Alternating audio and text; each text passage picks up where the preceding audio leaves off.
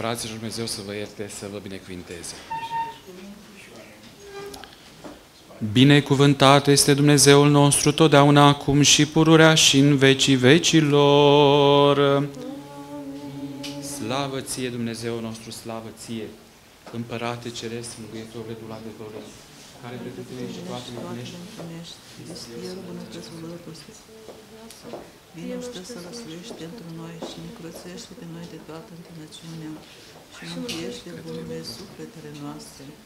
Sfinte Dumnezeule, Dumnezeule, Sfinte Tore, Sfinte fără de moarte, miluiește-ne pe noi.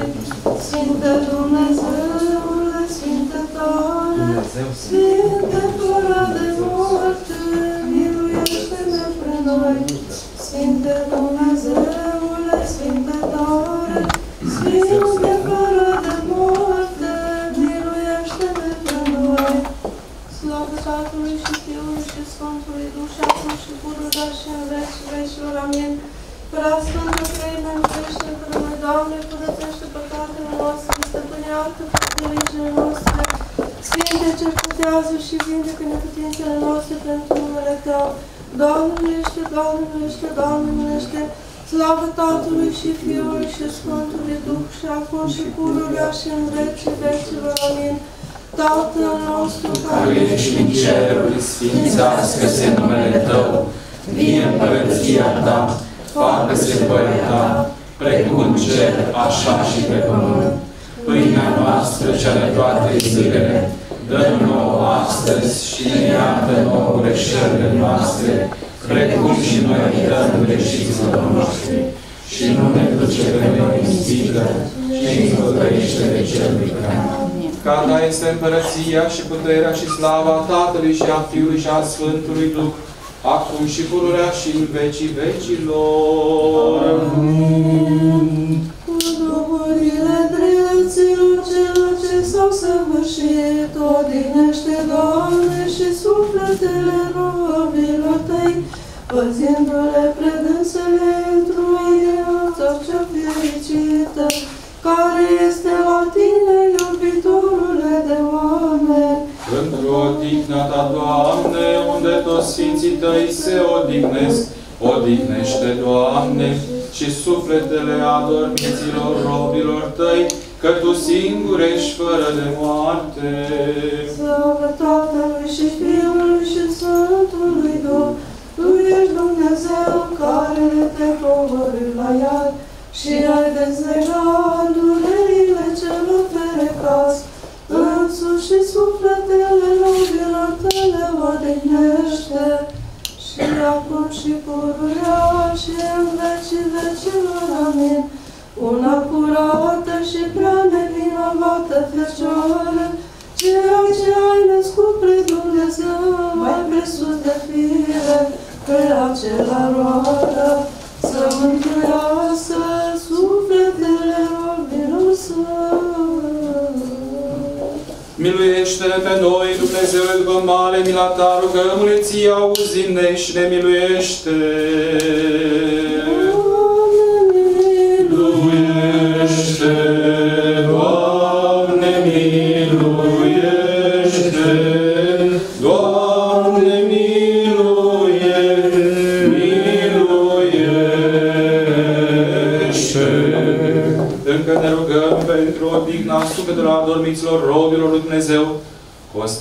Costin, Mircea Postan, Gheorghe Drăgan, Aurora Barcaru, Doru Calmuschi, Sorina Munteanu, Lucian Mihailescu, Emil Nicolescu, Aurel Pop, Ion Prelipceanu, Victor Stan, Angelin Rosetti, Petrescu Telnicu, Carmen Steiciuc, Constantin Pușcuță, Octavian Voicu, Vasile Sforic și Sever Bodron, Radu Cârneci, Ion Cosmei, Ion Lupu, Flavius Matei, Paul Sâm Petru, George Bacovia, Vasile Alexandri, Dinu Zarifopol, cu Și mai domnul adăugați încă pe uh, Ion Iordan a Ioanei, Iordana Ioanei, așa, pe Gel, Gheorghe Izbășescu, așa, Ge- Gelu Măgureanu, Gelu Măgureanu, Virgil Ardeleanu. Virgil Ardeleanu, și dacă mai știți vreunul, Mai sunt, da. Alexandru Ionescu, cu tot neamul lor ce Mitică l-a dormit. Pricopie. Ion Banai. Mitică uh, Pricopie Ion Fanait, A, cu tot neamul lor ce a dormit. Și pe robii tăi care odihnesc în cimitirile orașului acestuia și pretutindeni din neam în neam și din veac în veac. Și pentru ca să li se ierte lor toată greșeala cea de voie și cea fără de voie.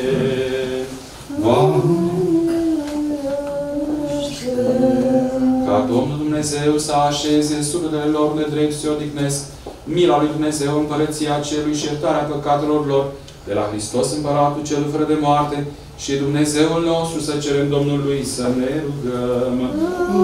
Doamne,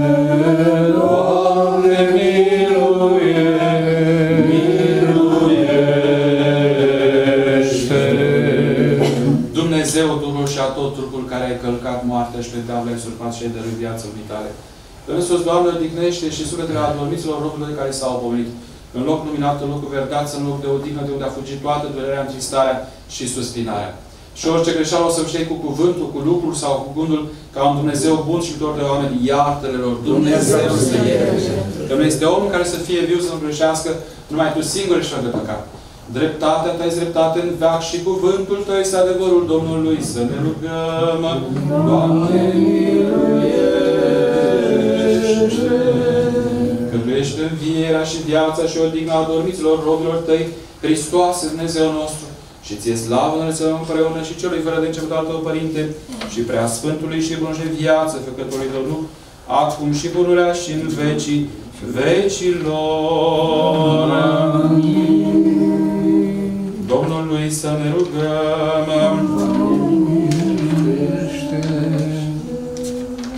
Stăpâne mult îndurate, Doamne Iisuse Hristoase, Dumnezeul nostru, care dați Sfinților Tăi ucenici și apostoli chele împărăției celor, iar după Sfântă învirea Ta cea de-a treia zi, cu harul Tău le-ai dăruit puterea de a lega și dezlega păcatele oamenilor, ca să fie legate și în cer câte de ei pe pământ s-au legat și tot așa să fie dezlegate și în cer de, de, câte, de, câte de dânsi pe pământ s-au dezlegat, ceea ce prin spus ta iubire de oameni ne-ai învrednicit și pe noi smeriții și de vrednici robii Tăi, să fim moștenitori același pe asfânt dar și har, ca și noi de asemenea să legăm și să dezlegăm cel ce se întâmplă în poporul Tău. Însus, prea bun împărate, prin mine smeritul și nevrednicul slujitorul Tău, iartă adormiților robii Tăi care s-au pomenit să mai pomenesc, Costinel Costin, Mircea Bostan, Gheorghe Drăgan, Aurora Barcaru, Doru Camurski, Sorina Munteanu, Lucian Mihailescu, Emil Nicolescu, Aurel Pop, Ion Prepceanu, Victor Stan, Angelino Rosetti, Petre Scutelnicu, Carmen Steiciuc, Constantin Pușcuță, Octavian Voicu, Vasile Sporici, Sever Bodron, Radu Cârneci, Ion Cosmei, Ion Lupu, Flavius Matei, Paul Sunt Petru, George Bacovia, Vasile Alexandri, Dinu Zarifobol, cu tot neamul lor ce l-a dormit. Și pe robii tăi care odihnesc în cimitirele orașului acestuia și pe putere din neam în neam și din veac în veac. Orice au greșit ca niște oameni în această viață, Dumnezeu să ierte. Le iartă lor toate câte au păcătuit cu cuvântul sau cu fapta sau cu gândul, dezlegându-și de legătura pusă în orice tip asupra lor, cu care ei însăși din mânie sau de altă pricină s-au legat pe sine, sau de la arhereu, sau de la preot, sau de la altcineva, au suferit o care ca aceasta prin pisma și prin lucrarea diavolului. Binevăște prea bună și mult îndurate, ca sufletele lor să așeze cu Sfinții care din veaca binecuvăție, iar trupurile lor să se dea firicele zidite de tine, că binecuvântat și prea slăvit ești în veci. Slavă ție, Hristoase, Dumnezeu, nădejdea noastră, slavă ție! Slavă Tatălui și Fiului și Sfântului Duh, și acum și pururea și în vecii vecilor. Amin. Doamne, ești, Doamne, ești, Doamne, ești, de cer, să te binecuvântează. Cel ce a înviat din morți Hristos, adoratul Dumnezeu nostru, pentru văciunea acurate Maicii sale, ale Sfinților Măriților și pentru tot lăudaților apostoli, ale preacuvioși de Dumnezeu, purtătorilor părinților noștri, ale Sfântului și Dreptului Lazar, cel înviat, a patra zi din moșului tuturor Sfinților, sufletele adormiților, robilor săi, pomeniți, mutați la noi, în cortul de să le așeze, în sânele Avram să le odihnească și cu drept să le numere, iar pe noi să ne miluiască, să ne mântuiască, ca un bun și de oameni iubitor. Într-un fericit adormire veșnică, odihnă, Doamne, sufletele adormiților de care s-au pomenit și le vor, Doamne, veșnică pomenire. Ridicați ambele, colivii, Veșnică. Pomenire,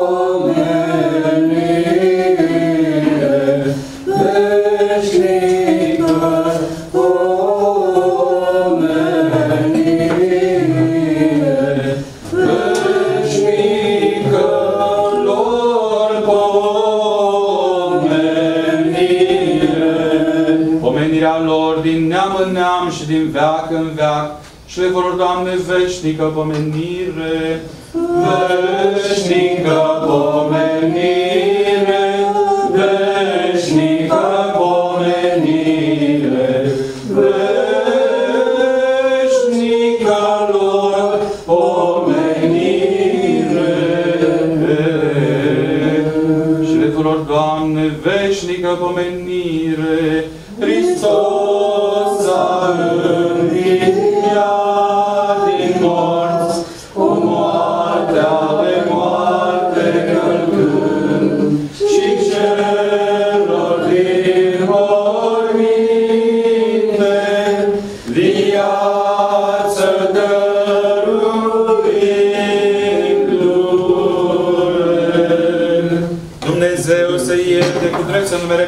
iar pe noi ca un bun și viitor de oameni să ne miluiască.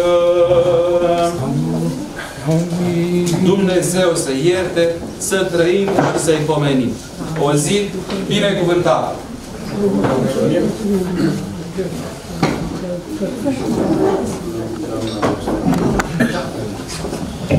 Așa. Deci o să începem uh, data cu comemorarea. Vreau să vă anunț că avem printre noi și pe doamna Bostan, soția lui Mircea Bostan, și o să rugăm și pe dânsul să ne facă o evocare a soțului. Și poate are chiar și o poezie ceva inedit. Și cred că e bine să începem cu doamna, da? Spargeți gheața dumneavoastră ca să... Mm. Da, poftiți. Pe care doamna Cristina Ștefan va prelua ostilitățile până mă întorc eu de la Cora. Epitaf. Moartea e tot o lumină care în altă lume te alină. E poate a naturii vinovăție, precum bine și la rău să fie. Moartea nu omoară cu frică, nașterea ei nu furnică. Nimeni nu știe cum se amână moartea rea ori moartea mai bună. Moartea respiră și în sfintele moaște. Negreșit cei vii o vom cunoaște. Să nu o luăm niciodată în seamă, chiar dacă pe mama și tata îi cheamă. Moartea nu vine, moartea rămâne. Puterea înnoirii modelată în sine.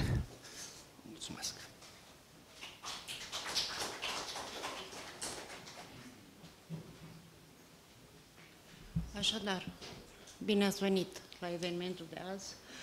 N-ar trebui să fie unul trist, pentru că ei uh, ne-au fost uh, înaintași. Uh, fără ei n-am fi ajuns aici. Uh, sunt scriitori de marcă, cei pomeniți, toți, cu uh, absolut talent uh, literar. Și uh, inițiativa domnului Brăneanu de a face acest moment în cadrul festivalului respectiv, uh, eu apreciez uh, la superlativ. Pentru că știți prea bine, trăim într-o lume din ce în ce mai egoistă și ne uităm și strămoșii, așa după cum ne-am cam uitat și viitorul. Așadar, eu voi vorbi despre Vasile Sporici, dar după ce îl invit pe domnul Petruș Andrei să vorbească despre Calistra Costin, recentul și fostul nostru președinte de filială timp de 13-14 ani, așa cred. Poftiți, domnul Andrei.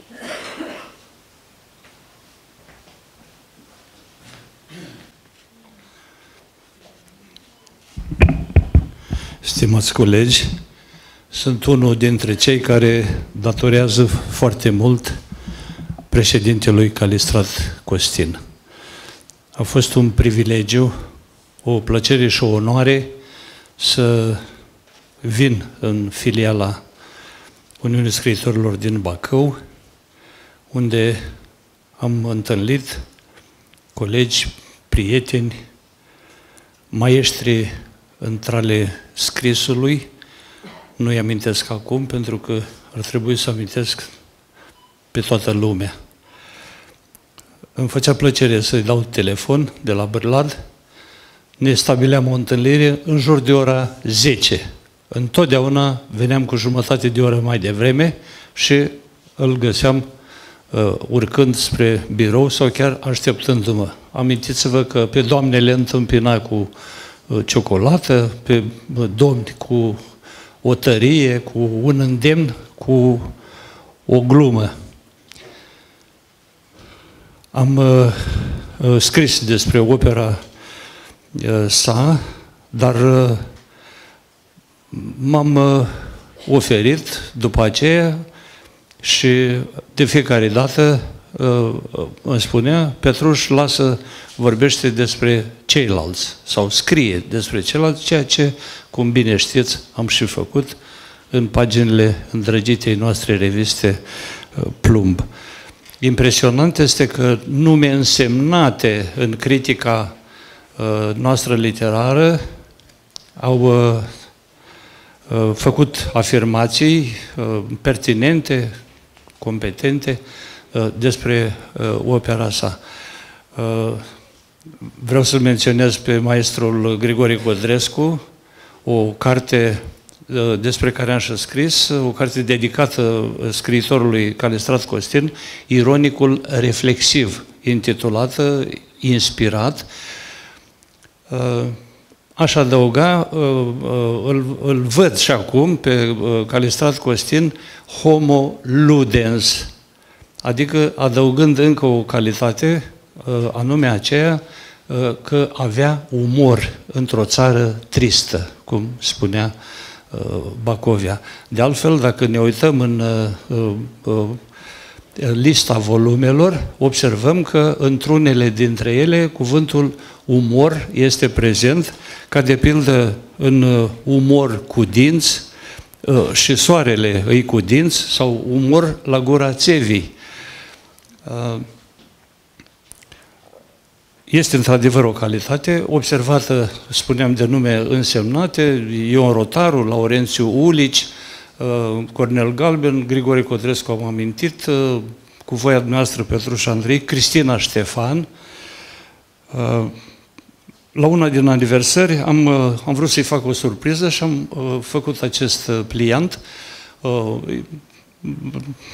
L-a primit cu, cu mare plăcere și uh, mi-a rămas, uh, de altfel așa și închei, cu uh, una dintre cele mai frumoase poezii,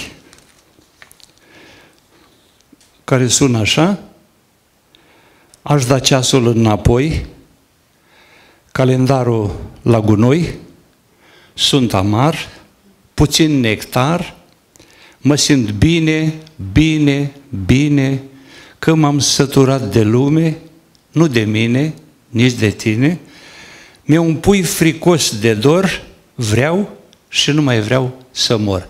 Dumnezeu să-L odihnească și să-i fie luminoasă mereu amintirea. Poftiți. Crezi în uh, ironicul reflexiv? Am o carte în care apare președintele Calistra Costin, și pentru că au vorbit uh, deosebit de uh, informat și nuanțat uh, prietenul de la Vaslui, uh, am să vă citesc o poezie pe care am comentat-o în cartea aceasta. Eu nu m-am dus, nu l-am rugat să accepte cartea pentru că era președinte, ci pentru că el știa și să dea. Adică știa să-mi dea fotografii, cronici, recenzii, cărți. Era un om deosebit de uh, pregătit, profesionist, de altfel unul din produsele cele mai bune ale Universității Alexandru Ioan Cuza, care este cea mai veche din România. Cea mai veche, țineți minte. Cea din București e bună, competentă, acolo a învățat Manolescu și alții, dar noi o avem în suflet pe cea numită Alexandru Ion Cuza. Poezia lui Costin, pe care am citat-o aici, vă citesc ca să vă amintiți uh, felul de a fi, de a se exprima al poetului. Se cheamă Număr de circ. Un puști acrobat s-a prăbușit la trapez. Într-un salt perfect și firește în clipa de grație s-a făcut întuneric. Fulgerător apoi s-au oprins reflectoarele, decor fantastic. Pe cavaleria ușoară a început un număr de dresar. Cu un vis de cal alb, ropot de aplauze, delir, extaz. Dresoarea o dulceață de fată, plonjonul puștiului a fost luat drept o scamatorie. Circarii se prefac, ei nu mor de adevăratele. În încheiere recunosc că n-am citit grozav. Caramitru ar fi făcut din asta un moment fulminant, pentru că el a făcut multe, între altele și un acoperiș și o amenajare splendidă la Ipotești, care nu mai este cum a făcut-o el când era ministru. Fiii țării ușoară. Uh, mă scuzați că v-am repezit la microfon, dar uh, prietenul meu, trubadurul, așa l-am numit pe Petru și Andrei, mi-a furat uh, locul întâi la vorbire despre Costin.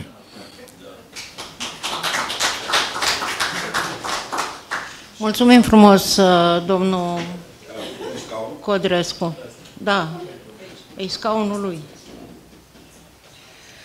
Uh, să vedem uh, Radu Cârneci.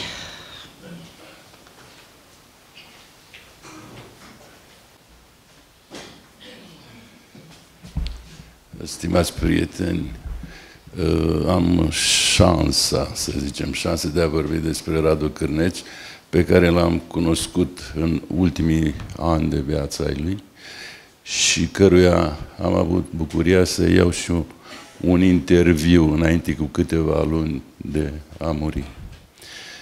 Cine este Radu Cârnești? Bănuiesc toată lumea știe. Născut în 1928, în februarie, la Valea lui Lal, nu? Lângă Râmnicu Sărat. Lalu, pardon. Da, domnul Tecuțu, care e de acolo și îl cunoaște foarte bine. Sigur, poate nu trebuia să vorbesc eu, ar fi putut vorbi băcăoanii care îl cunosc foarte, foarte bine. Ă, știm că a lucrat un om care a terminat silvicultura, pe urmă a terminat și filozofie, ă, psihologie. A lucrat în cultură, foarte interesant. Doar pasiunea te poate aduce spre literatură și el a fost un pasionat, un ziarist, un poet, un director de revistă a înființat Ateneu în Bacău. Din păcate, pe 9 decembrie 2017 uh, a murit. Deci, înainte de a muri cu câteva luni, acolo în uh, apartament, frumosul și marele lui apartament de lângă Cismigiu, am petrecut multe ore cu domnia sa, în fața unui bar de vin și în fața uh, unor vorbe frumoase din partea domniei sale. Uh, nu vreau să lungesc momentul, vreau, dacă îmi permiteți, să vă dau doar două întrebări și două răspunsuri din interviul pe care l-am luat. Mulțumesc că mă aprobați. Uh, întrebarea mea. O întâlnire cu dumneavoastră, domnul Radu Cârneci, este nu doar plăcută, ci se constituie și într-o lecție de viață, de relație cu lumea, cu natura, cu divinitatea, fiind totodată un fel de istorie culturală a ultimelor decenii din veacul trecut și a primului din cel de azi. Viața și opera noastră sunt ca o carte deschisă, încă neterminată. Mi-aș îngădui să relatez și să reamintesc celor ce vor parcurge această convorbire câteva întâmplări care au marcat viața social-culturală a Bacăului. Și nu numai, care în mare măsură vi se datorează. Poetul este dublat atunci de omul cultural, termen pe care îl folosiți în publicistică din când în când. Ca președinte al Comitetului Regional Bacău de Cultură și Artă, ca redactor șef al revistei Ateneu, pe care ați înființat-o uh, ca principal organizator, sigur că în jur a fost George Bălăiță, Călin Constantin, uh, Avram uh, Sergio Adam, pardon, da, și mulți alții, dar factorul principal a fost el. Iată că din funcțiile de atunci se putea face și bine. Așa, s-a dezvelit statuia marelui poet Bacovia, deci în timpul uh, când era el prezente, pentru care a stăruit timp de 2 ani de zile. Se înscriu toate acestea și altele în preocupările omului cultural, noi știm că despre omul cultural se spun multe și nevrute, de multe ori, uh, cu sens peiorativ, omul cultural, adică ăla care era trimis, știm noi unde, uh, de fapt activistul de partid era acel om. Dar iată, iată că Radu Cărneci a fost cu totul altfel de om. Răspunsul domnului Cărneci. Fără îndoială, da, dar și altele. Omul cultural nu se naște, el se formează în funcție de niște calități personale și de unele funcții ce îi se dau, de conducere, de organizare, de reprezentare. Mai întotdeauna el se simte răspunzător nu numai de cele ale sale, ci și de cele ale altora, ale societății în care trăiește, datorii, interese generale, necesități. Împlinirile sale acoperă de cele mai multe ori unele spații goale, devenind în felul acesta important sau foarte necesar, înscriindu-se astfel în istoria acelui timp sau acelor locuri. În stă la îndemână un om exemplar, atât prin bogatele și valoroasele scrieri originale, cât și prin faptele culturale, de mare importanță pentru cultura națională. Profesor Eugen Simion. Devenind, ce îmi spune despre un om cultural ca Eugen Simion.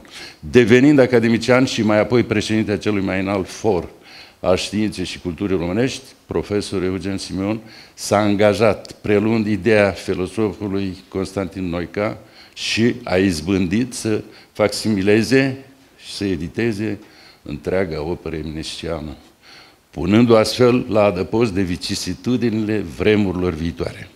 Să mai adăugăm organizarea și tipărirea dicționarului literaturii române, șase volume, edita, editarea formula Pleiade, unor mari scriitori români, organizându-i odată în plus. De asemenea, tipărim pentru întâia oară Vulgata, Biblia de la Blaj, moment de limbă română, 1760-1761. După mai bine de 200 de ani de la traducerea acesteia de către prea cinstitul episcop Paul Petru Aron, denotă din partea profesorului Simeon grija ca asemenea acte de identitate culturală românească să nu se piardă, ci să facă dovada bogăției noastre spirituale. Aș mai adăuga la acest foarte sumar portret faptul că tot sub magistratura sa și cu sprijinul efectiv al unor prețuitori ai culturii s-a ridicat și s-a dat rosinței publice în nou și modernul edificiu al Bibliotecii Academiei Române.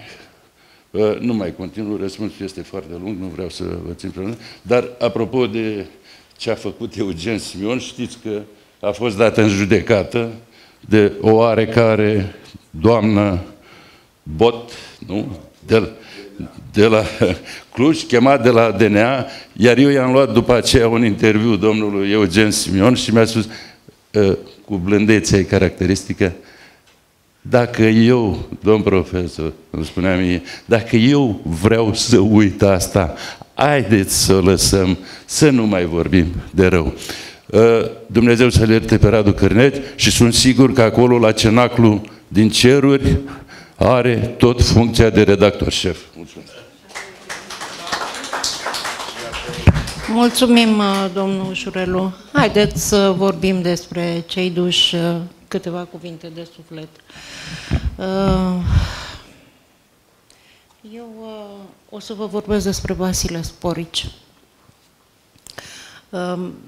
Pentru că s-a vorbit despre Calistra Costin, a fost directorul teatrului și Vasile Sporici a fost directorul teatrului Bacovia și o personalitate de netăgăduit în cultura locală și în cea românească în general. A trăit 73 de ani, s-a născut uh, în 1931 la Comănești, Bacău și a murit uh, în 2004. Asta a însemnat că cam patru decenii a avut uh, mare uh, influență asupra uh, culturii. El a ținut o cronică în revista Ateneu încă de la înființare din 1964 de critică literară, până când a murit, până în 2004. A, fost, uh, a terminat Universitatea din București, uh, secția biologie și ca atare are multe lucrări profesionale scrise, inclusiv lucrarea de doctorat. O am aici, am cumpărat-o și vreau să o dăruiesc uh, celor, celui care va fi interesat de această personalitate extraordinară, Vasile Sporici. El semna uh, și cu pseudonimul Vlad Sorianu. A fost în 2004, în anul morții sale, uh, onorat cu meritul uh, cultural, uh, ordinul în, în titlul de cavaler al culturii. Și are un roman foarte interesant, Timpul dezmoșteniților, pe care l-a scris încă din tinerețe și l-a terminat la Junimea în 1983 deci uh, la vârsta maturității deja. Eu vreau să vă povestesc o întâmplare. Uh, în afara biografiei extraordinare pe care o are uh, cu titlul de Om de cultură în Bacău, Vasile Sporici. Era în anul 1980. Terminasem facultatea apropo de domnul Codrescu, Universitatea Alexandru Ioan Cuza, cea mai veche universitate din țară, și am venit prin repartiție guvernamentală la CEC, sucursala județeană CEC. Vă dați seama că în anii de studenție eu n-am avut cum să țin legătura cu lumea culturală a Bacăului, îmi vedeam de învățat, de examene, m-am și căsătorit, am făcut și un copil. Deci, ă, nu cunoșteam ă, așa bine marile personalități. La CEC acolo am ajuns singura economistă într-un colectiv de doamne cu orgolii foarte mari, uh, foarte spilcuite, foarte încrezătoare în ele însele și care m-au tratat cu foarte multă invidie și cu foarte multă reticență când am ajuns eu acolo, entuziastă de pe băncile universității. Și am făcut doi ani de ghișeu, acolo la CEC, am pus în ordine și am adunat și am scăzut documente de depunere și restituire, ca la orice ghișeu. Și după vreo 2 ani, deci asta era în 82, am fost promovată tot la ghișeu la uh, acordarea de credite. Dacă știți că în perioada aceea se luau credite pentru locuințe. Și acolo mi-am văzut de treabă, am învățat ce este de făcut, cum se, cum se întocmește documentația de credite și într-o zi a venit un domn uh, la ghișeu și eu m-am comportat absolut normal.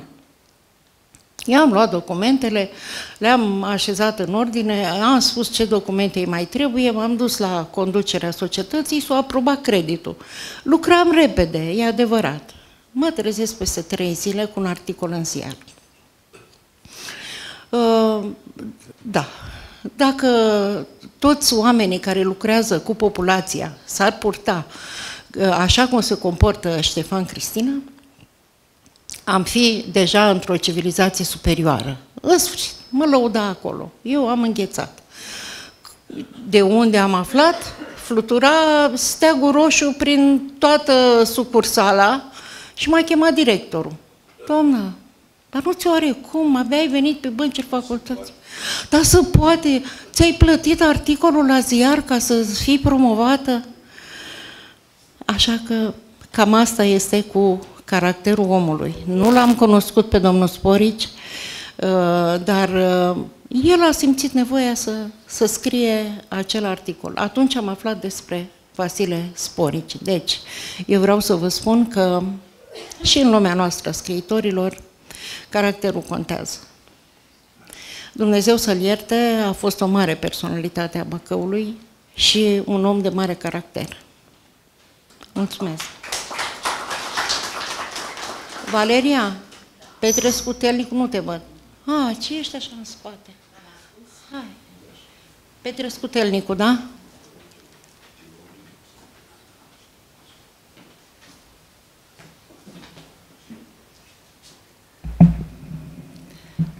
Eu uh, sunt de multă vreme în această filială și mm, când s-a făcut uh, pomenirea celor trecuți la Domnul, uh, chiar mă gândeam că pe aproape toți i-am cunoscut. Mai puțin pe Vasile Alexandri, pe care l-am cunoscut doar datorită faptului că am avut ca lucrare de licență tipologia comică la Vasile Alexandri. Pe ceilalți i-am cunoscut pe toți, pe foarte mulți i-am apreciat și probabil că cel mai aproape afectiv și nu numai am fost uh, de Petru Scutelnicu. Eu am uh, scris câteva rânduri ca să nu vă țin foarte mult și să-mi iertați sentimentalismul, dar avem de-a face cu un mare poet care ne-a părăsit mult prea devreme. Era un uriaș blând, tăcut, care își apăra universul cu un zâmbet abia schițat. De altfel, poet remarcabil, prea puțin preocupat de vociferările grafomanilor, de ifosele înfipților încnezate și voievodate literare, incapabil să urască ori să poarte ranchiună pentru lipsa de recunoaștere națională. Ai fi zis că la muză absența sa din topuri și ierarhii, poate din cauza unei atitudini filozofice în fața vieții și a actului de creație, poate din cauza educației și a culturii acumulate cu discreție de-a lungul anilor. Citit și talentat, Petru Scutelnicu nu intra niciodată în discuții meschine, nu părea interesat dezbaterea oarbă pentru obținerea de faimă și onoruri, ci cumva plictisit de aceste deșertăciuni ale deșertăciunilor, înainta prin lume cu capul sus, detașat, prieten cu toți și cu nimeni în special, generos cu cei pe care îi credea atinși cu adevărat de fiorul sacru al poeziei și pe care îi găzduia în paginile revistei la care era redactor șef, e vorba de plumb.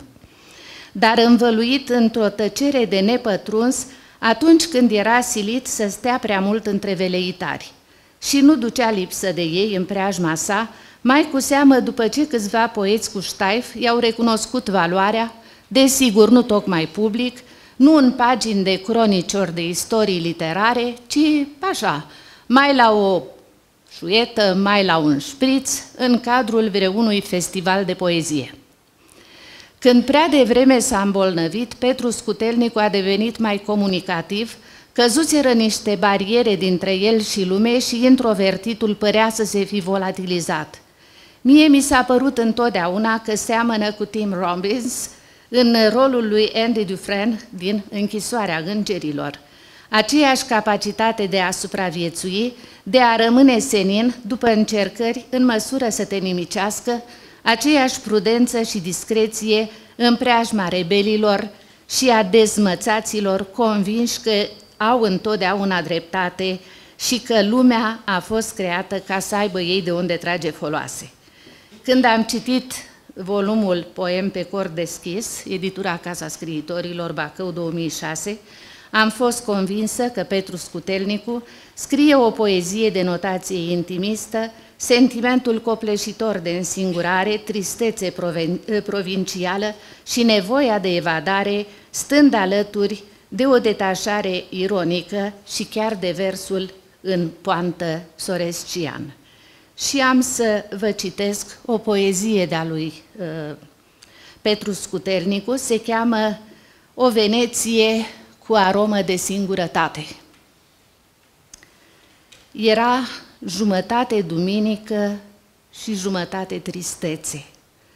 Cearcănele unui înger ningeau peste mansarde.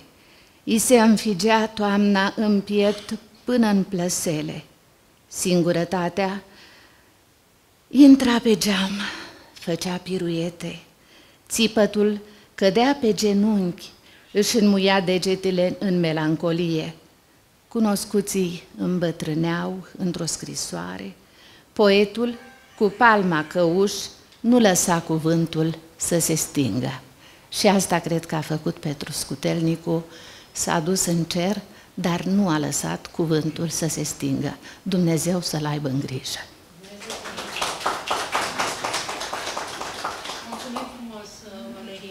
Cine mai... Uh, domnul Mocanu, domnul Galben, domnul Mocanu și doamna Dana Bostan, ne citiți ceva din Mircea Bostan? Da?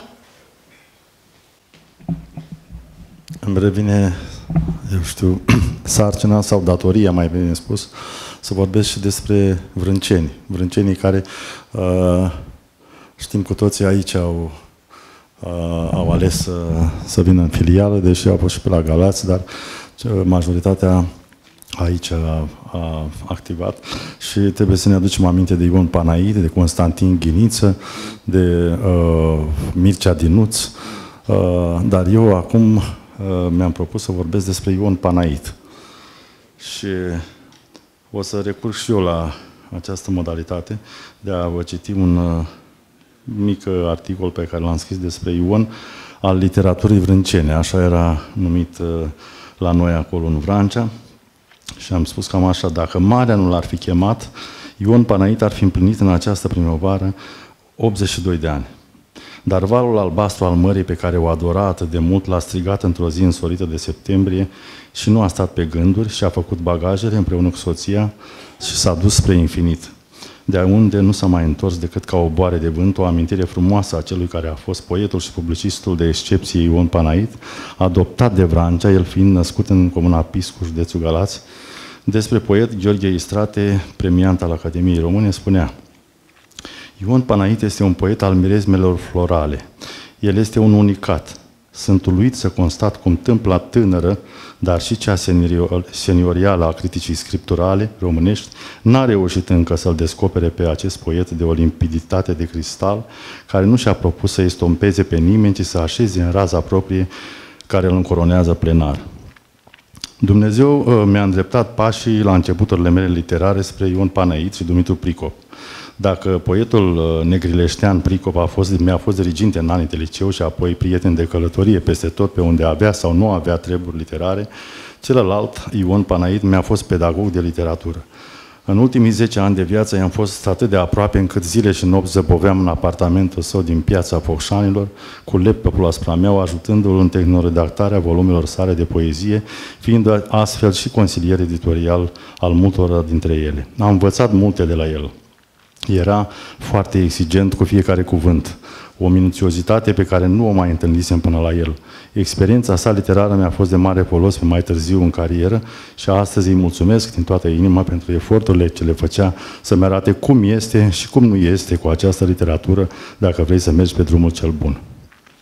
De fiecare dată când se apropie sărbătoarea Mărțișorului, el fiind născut în, pe 1 martie, îmi uh, amintesc de el și îl visez spunându-mi Aștept, Gheorghiță, să scrii ceva de mine când vine primăvara. Scrie tu, că mulți dintre prietenii mei de altă dată nu-și mai amintesc de mine. Aceste cuvinte mele închipui spuse de el și mă fac mereu să exclam.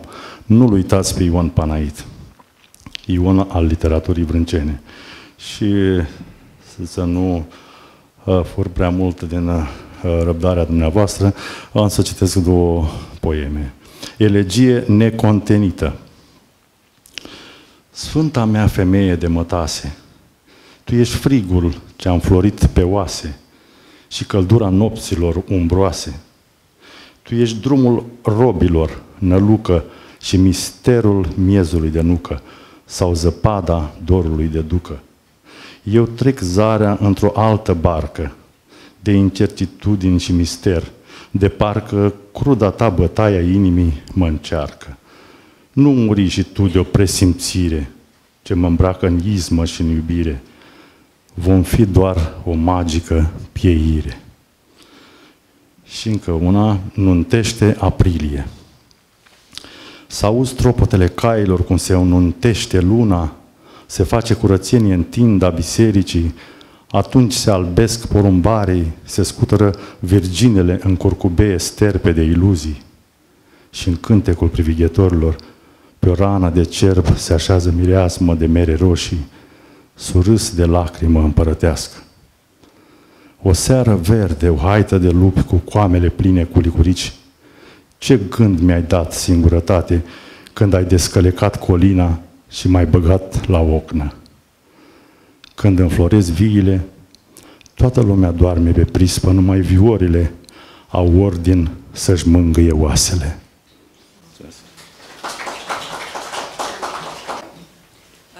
Nu am uh, la mine un uh, poem de Ion Cosmei, în schimb uh, vreau să vă semnalez această apariție, n-am apucat aseară, este vorba de volumul 3, Țara de Sus, de mai sus, care adună cronici ale evenimentelor literare și artistice din Țara de Sus, și uh, firește este foarte prezentă filiala uh, Bacău a Uniunii Scriitorilor și în primul volum apărut în uh, anul 2015 este foarte prezent, cum a fost și în viața literară a Bucovinei Ion Cosmei.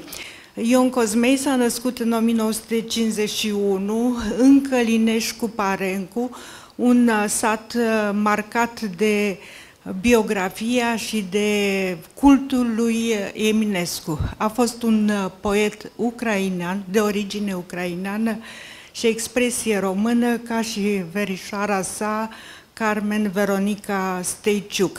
Eu l-am cunoscut târziu, el a urmat cursurile celei mai vechi și mai bune universități, Universitatea Iași. Eu am uh, fost studentă la București. Uh, când uh, l-am cunoscut, eu lucram de 2 ani în redacția ziarului Tribuna Ialomiței și într-o zi i-a călcat pragul ca să mă cunoască și să-l cunosc Ion Cosmei, proaspăt repartizat la o școală din Ialomița, din, dintr-un sat Traianu. Acolo, Asta se întâmpla la două-trei luni de la repartiție, înființase un uh, grup uh, folk și venise ca de la bucovinean la o bucovineancă să mă roage să-l sprijin în uh, promovarea acestei inițiative ale sale. Când am ajuns eu la Traianu, Ion Cosmei nu mai era, plecase la Suceava. Un uh, mister pentru mine, era foarte greu pe vremea aceea uh, să te desparți de o repartiție guvernamentală înainte de cei trei ani obligatorii. Peste... Da, dacă, da.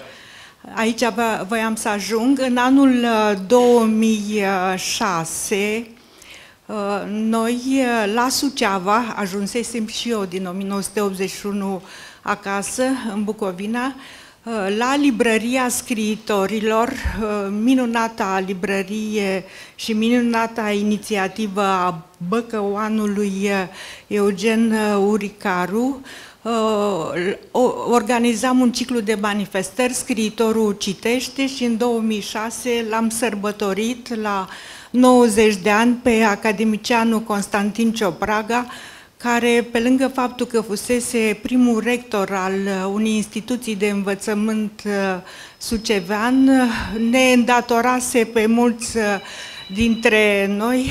L-am evocat atunci, l-a evocat în primul rând fosta sa studentă, Stavrofora Elena Simionovici, colega noastră de astăzi, venită aici împreună cu monahia Teofana și odată cu preasfințiile lor, aducând și binecuvântarea Sfintei Mănăstiri Voroneț, pe care o prețuim din toată inima. Atunci au citit uh, poeme din uh, Constantin Ciopraga, foarte tânărul Alexandru Ovidiu Vintilă, foarte tânăra Isabel, Isabel Vintilă, dar uh, cel mai însuflețit moment a fost cel al lui Ion Cosmei, care ne-a povestit că um, pusese avusese la activul său o compoziție muzicală unicat uh, pe versuri de Constantin Ciopraga.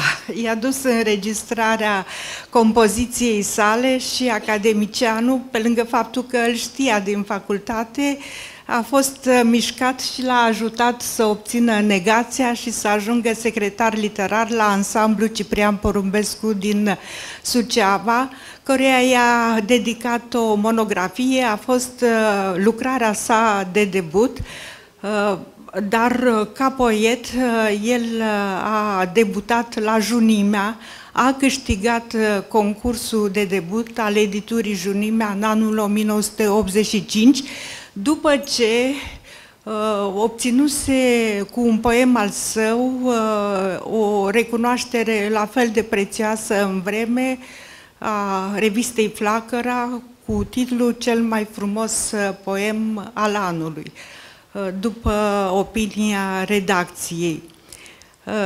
După am uh, ținut uh, să evoc acest uh, moment pentru că să subliniez vocația culturală a lui Ion Cosmei care s-a manifestat în numeroase lansări de carte, organizarea numeroaselor lansări de carte, de susținere a, prime, a tinerilor condeie, Uh, era peste tot, uh, era și un uh, publicist apreciat, dar am vorbit despre el și prin și am pomenit și originea sa ucraineană, sângele său ucrainean, pe care de asemenea l-a onorat cu traduceri din Taras Shevchenko, Uh, cea mai completă traducere din uh, poetul național al Ucrainei îi aparține. Uh, această, această munca sa de traducător a fost recunoscută la 60-a sa aniversare. Consulatul Ucrainei la Suceava i-a acordat uh, o distinție. Un poet în vogă din Ucraina a venit să-i spună la mulți ani, Ivan uh, Draci, iar uh, doctoratul în Taras Cepcencu și receptarea sa în România a fost obținut, i-a fost acordat titlul de doctor de Universitatea București pe care el o prețuia. De asemenea, s-a manifestat uh, foarte puternic și ca bucovinean. În uh, anul 1994, uh, cred, a publicat o carte, Drumul spre Golgota, preluând, preluând experiența și împărtășind-o în limba română cititorilor unui Uh, profesor uh, universitar uh, din Cernăuț, Ilie Popescu, care fusese exilat în Kazahstan, o tragedie cum au trăit mulți dintre românii de dincolo de graniță. De asemenea, a avut ideea unui pelerinaj din Boian la Vatra Dornei, căruia de asemenea i-a dat uh, uh, consistența unei uh, cărți împreună cu un ziarist, uh, Tiberiu Kosovan.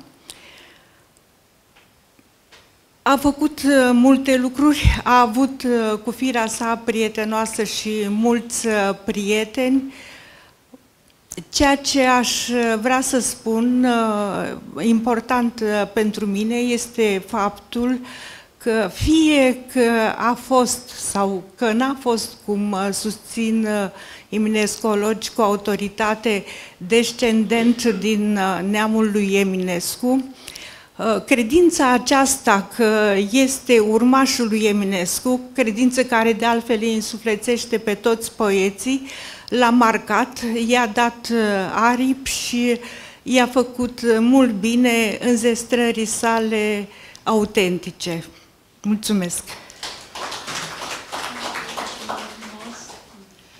Mulțumim, domnul Cornel Galben.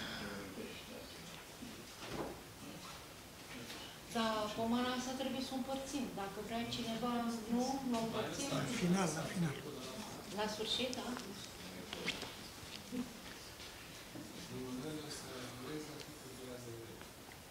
Lumânările, da.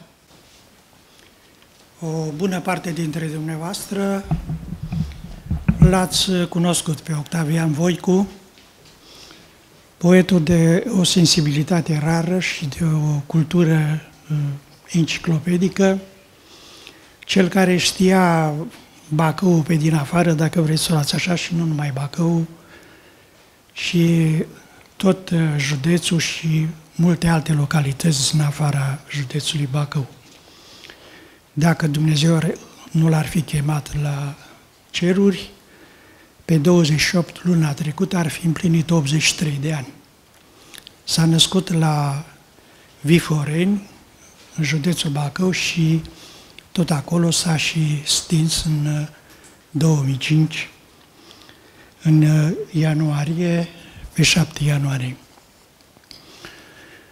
Am avut șansa să-l cunosc uh, încă din uh, tinerețe, ca să zic așa, abia terminasem școala profesională, eram uh, la Onești, lucram pe platforma petrochimică și în cadrul zilelor culturii călineștiene, sigur că era prezent acolo și spre deosebire de alți uh, scriitori afirmați la vremea aceea, el era, cum a fost de altfel, întotdeauna modest și apropiat de de cei care nu-i băga nimeni în seamă.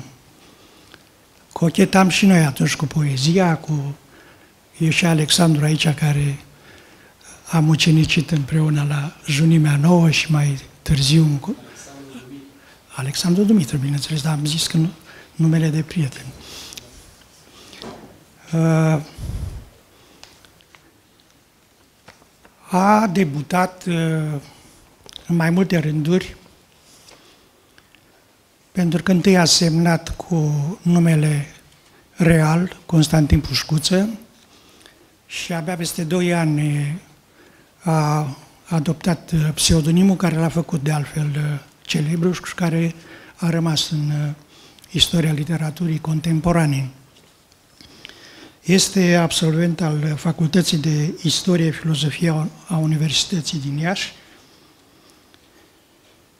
A debutat în revista Luceafărul cu o prezentare a lui Nicolae Stoian, apoi în Cronica cu o, de, cu o prezentare a lui Mihai Drăgan și în sfârșit în Ateneu, uh, al cărei uh, uh, redactor uh, avea să uh, vrea să ajungă peste un timp.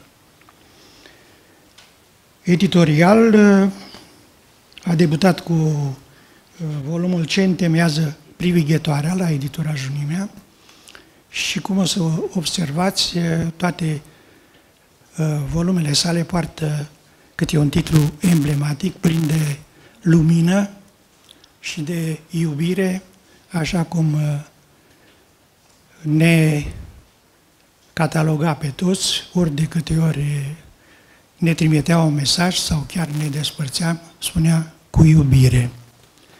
celelalte volume, Viața pe rod, Câtești lumină, Cartea locului, ultima în 1986. De atunci și-a impus o tăcere, n-a mai scris, adică de scris, a scris pentru sertar, dar n-a mai publicat uh, niciun volum, știute fiind, uh, cum să spun, uh, o, și obstacolele, dar faptul că ți se impunea să, să mai publici și altceva pe lângă versurile tale sau pe lângă scrierile tale. Și atunci a preferat să scrie pentru sertar și abia în uh, 1998 a revenit și iarăși am avut șansa să, să fiu uh, alături de el pentru că a publicat uh, volumul la editura Corgal Press, o editură tânără, pe care, uh, cum să spun, a susținut-o și prin volumele sale, pentru că toate celelalte volume, cu excepția antologiei, uh, pagini alese de care am ocupat, uh, au fost publicate la editura Corgal Press. E vorba de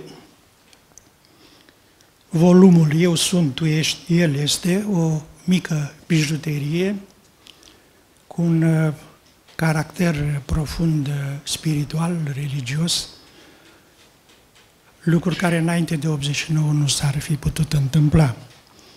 Apoi o carte pentru copii foarte frumoasă, cartea lui Copil Împărat, care a și primit premiul filialei Bacău a Uniunii Scriitorilor, Cartea Privirii în 2003 uh, și uh, pe final, uh, pe finalul vieții sale, după suferința pe care a îndurat-o și după operația a mai reușit să mai trăiască aproape un an, grație ajutorului lui Gelu Fulga, Dumnezeu să-l odihnească și pe el, care a scos imediat bănuții din buzunar, am reușit să scot al doilea volum din cartea lui Copil Împărat, pe care i-am dus-o la Viforeni, a doua zi de Crăciun. Nu mai putea să vorbească, însă era, creierul era viu, înțelegea tot. I-am produs o surpriză extraordinară, am văzut cum i s-a luminat chipul, mi-a mulțumit în felul lui și pe 7 ianuarie ne-a părăsit. Am uh, reușit tot la Corgal Press să îi public și singurul său roman, uh, asta post-mortem în 2008, uh, Lumea are glas. Un roman despre sat, despre grozăviile cooperativizării și ceea ce a însemnat uh, într-o anumită latură uh, epoca uh, socialistă. Sigur că a sprijinit pe multă lume, i-a îndemnat, i-a uh, uh, urmărit cariera, i-a recomandat revistelor, mulți dintre cei care au devenit membri ai Uniunii Scriitorilor au beneficiat de recomandările sale. Uh, a fost deschis uh, și față de uh, scriitorii de dincolo de Prut, unde de asemenea în primii ani, după 90, am fost împreună la multe întâlniri. A fost și directorul Teatrului de Animație, a fost și secretarul Teatrului Bacovia, a adus acolo de uh, dramaturg, dramaturgul, de uh, cronicarul dramatic uh, și filozoful Vasile Sporici, în perioada sa de directorat. Am avut uh, și șansa încă un dată să uh, dramatizez uh, piesa pentru copiii a lui Eugen Gheorghiță de la Chișinău, pe care am montat-o la Teatrul de Animație și o piesă care a cunoscut uh, peste 200 de reprezentații. A lucrat și la uh, Inspectoratul pentru Cultură, cunoștea foarte bine lumea plasticienilor, lumea scriitorilor, lumea muzicienilor. Era în taberele de creație, fie ale plasticienilor, fie ale scriitorilor. A cunoscut o lume întreagă care, la rândul ei, îl are în inimă și memoria lui eh, sper să fie în continuare păstrată. Personal am încă destule manuscrise, o parte le-am publicat. Dintre ele uh, am adus aici trei, dar o să vă citesc uh, numai unul, probabil scris exact în perioada în care a venit după, după internarea de la spital, uh, era chiar singur în apartamentul său de pe Cornișa Bistriței. Nefericita singurătate. Cine să te mai strige din depărtare de tine, să spună că îți este dor, cuvinte bune de îmbărbătare, cine să-ți dea când zilele mor? Cine să-ți intre în gusta încăpere, să-ți vadă icoana la care te închin? Cine ți aduce câteva mere? Cine te sărută dacă suspini? Cui împărtășești suferința când sufletul și oasele te dor? Ziua și noaptea te alin cu credința și ai în suflet un rece fior. Când lacrima scade peste obraz, cine ți-o șterge cu palma iubirii și cine în clipa de răgaz ți ascultă oful neîmplinirii? Cine întinde cupa cea plină Cine te ridică dacă ai căzut? Cine îți face din besnă lumină? Cine te vede când treci nevăzut?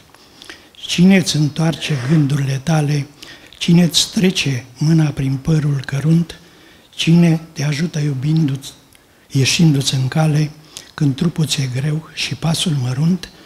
Nefericit și singur străbați cu îndârjire, pustietatea timpului atât cât a rămas, și visezi amar la stropul de iubire să-l porți ca talisman al ultimului ceas.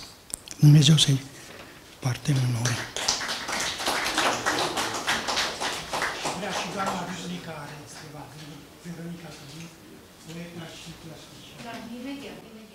Ar fi păcat să-l sărim pe Sergiu Adam, unul din cei mai energici și mai eleganți redactor ai revistei Ateneu, pe care a făcut-o Bacovia și cu altcineva. N-am, nu prea am auzit versuri de Bacovia pe aici, nici el, poate azi mâine. Sergiu Adam era fiu de preot.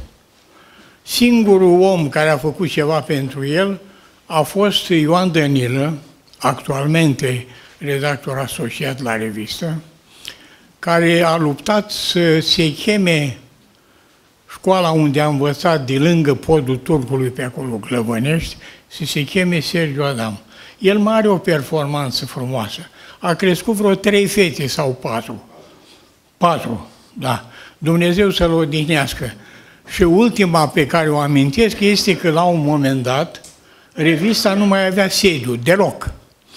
A intrat într-un pod la teatru, teatru hotel, pardon, hotelul vechi, la, în podul ăla l-am găsit, pentru că eu știam ceva din liceu și din facultate, desigur, despre faptul că pe aici a trăit și Bacovea.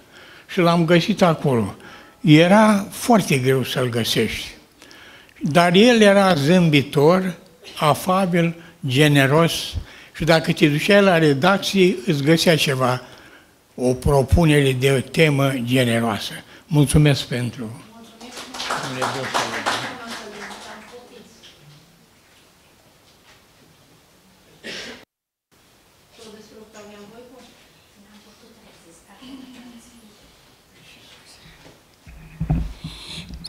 nu am, nu am putut rezista tentației de a vorbi de domnul Ian Voicu, care s-a intersectat și cu existența mea și uh, aceste cărți pe care vi le-am adus să vi le arăt sunt foarte importante pentru mine, sunt cu autografa. De atunci am acest obicei de a lua autografe și de a le păstra.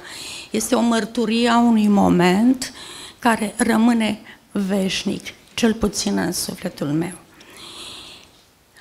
A vorbit atât de frumos domnul Cornel Galben încât n-aș putea decât să spun ceea ce, ce depinde de amintirile pe care le am cu domnul Octavian Voicuș și pe care nu l-am uitat și nici nu o să-l uit. Viața pe rod. Eu sunt, tu ești, el este. Este o minune. Ce întemeiază privighetoarea? Cartea locului, Cartea privirii, pagini alese. Lumea are glas, iar aici este o antologie de, de poezii pe care el le-a susținut celor de la Palatul Copiilor. Se făceau niște tabere de literatură și acești copii foarte talentați au primit sprijin.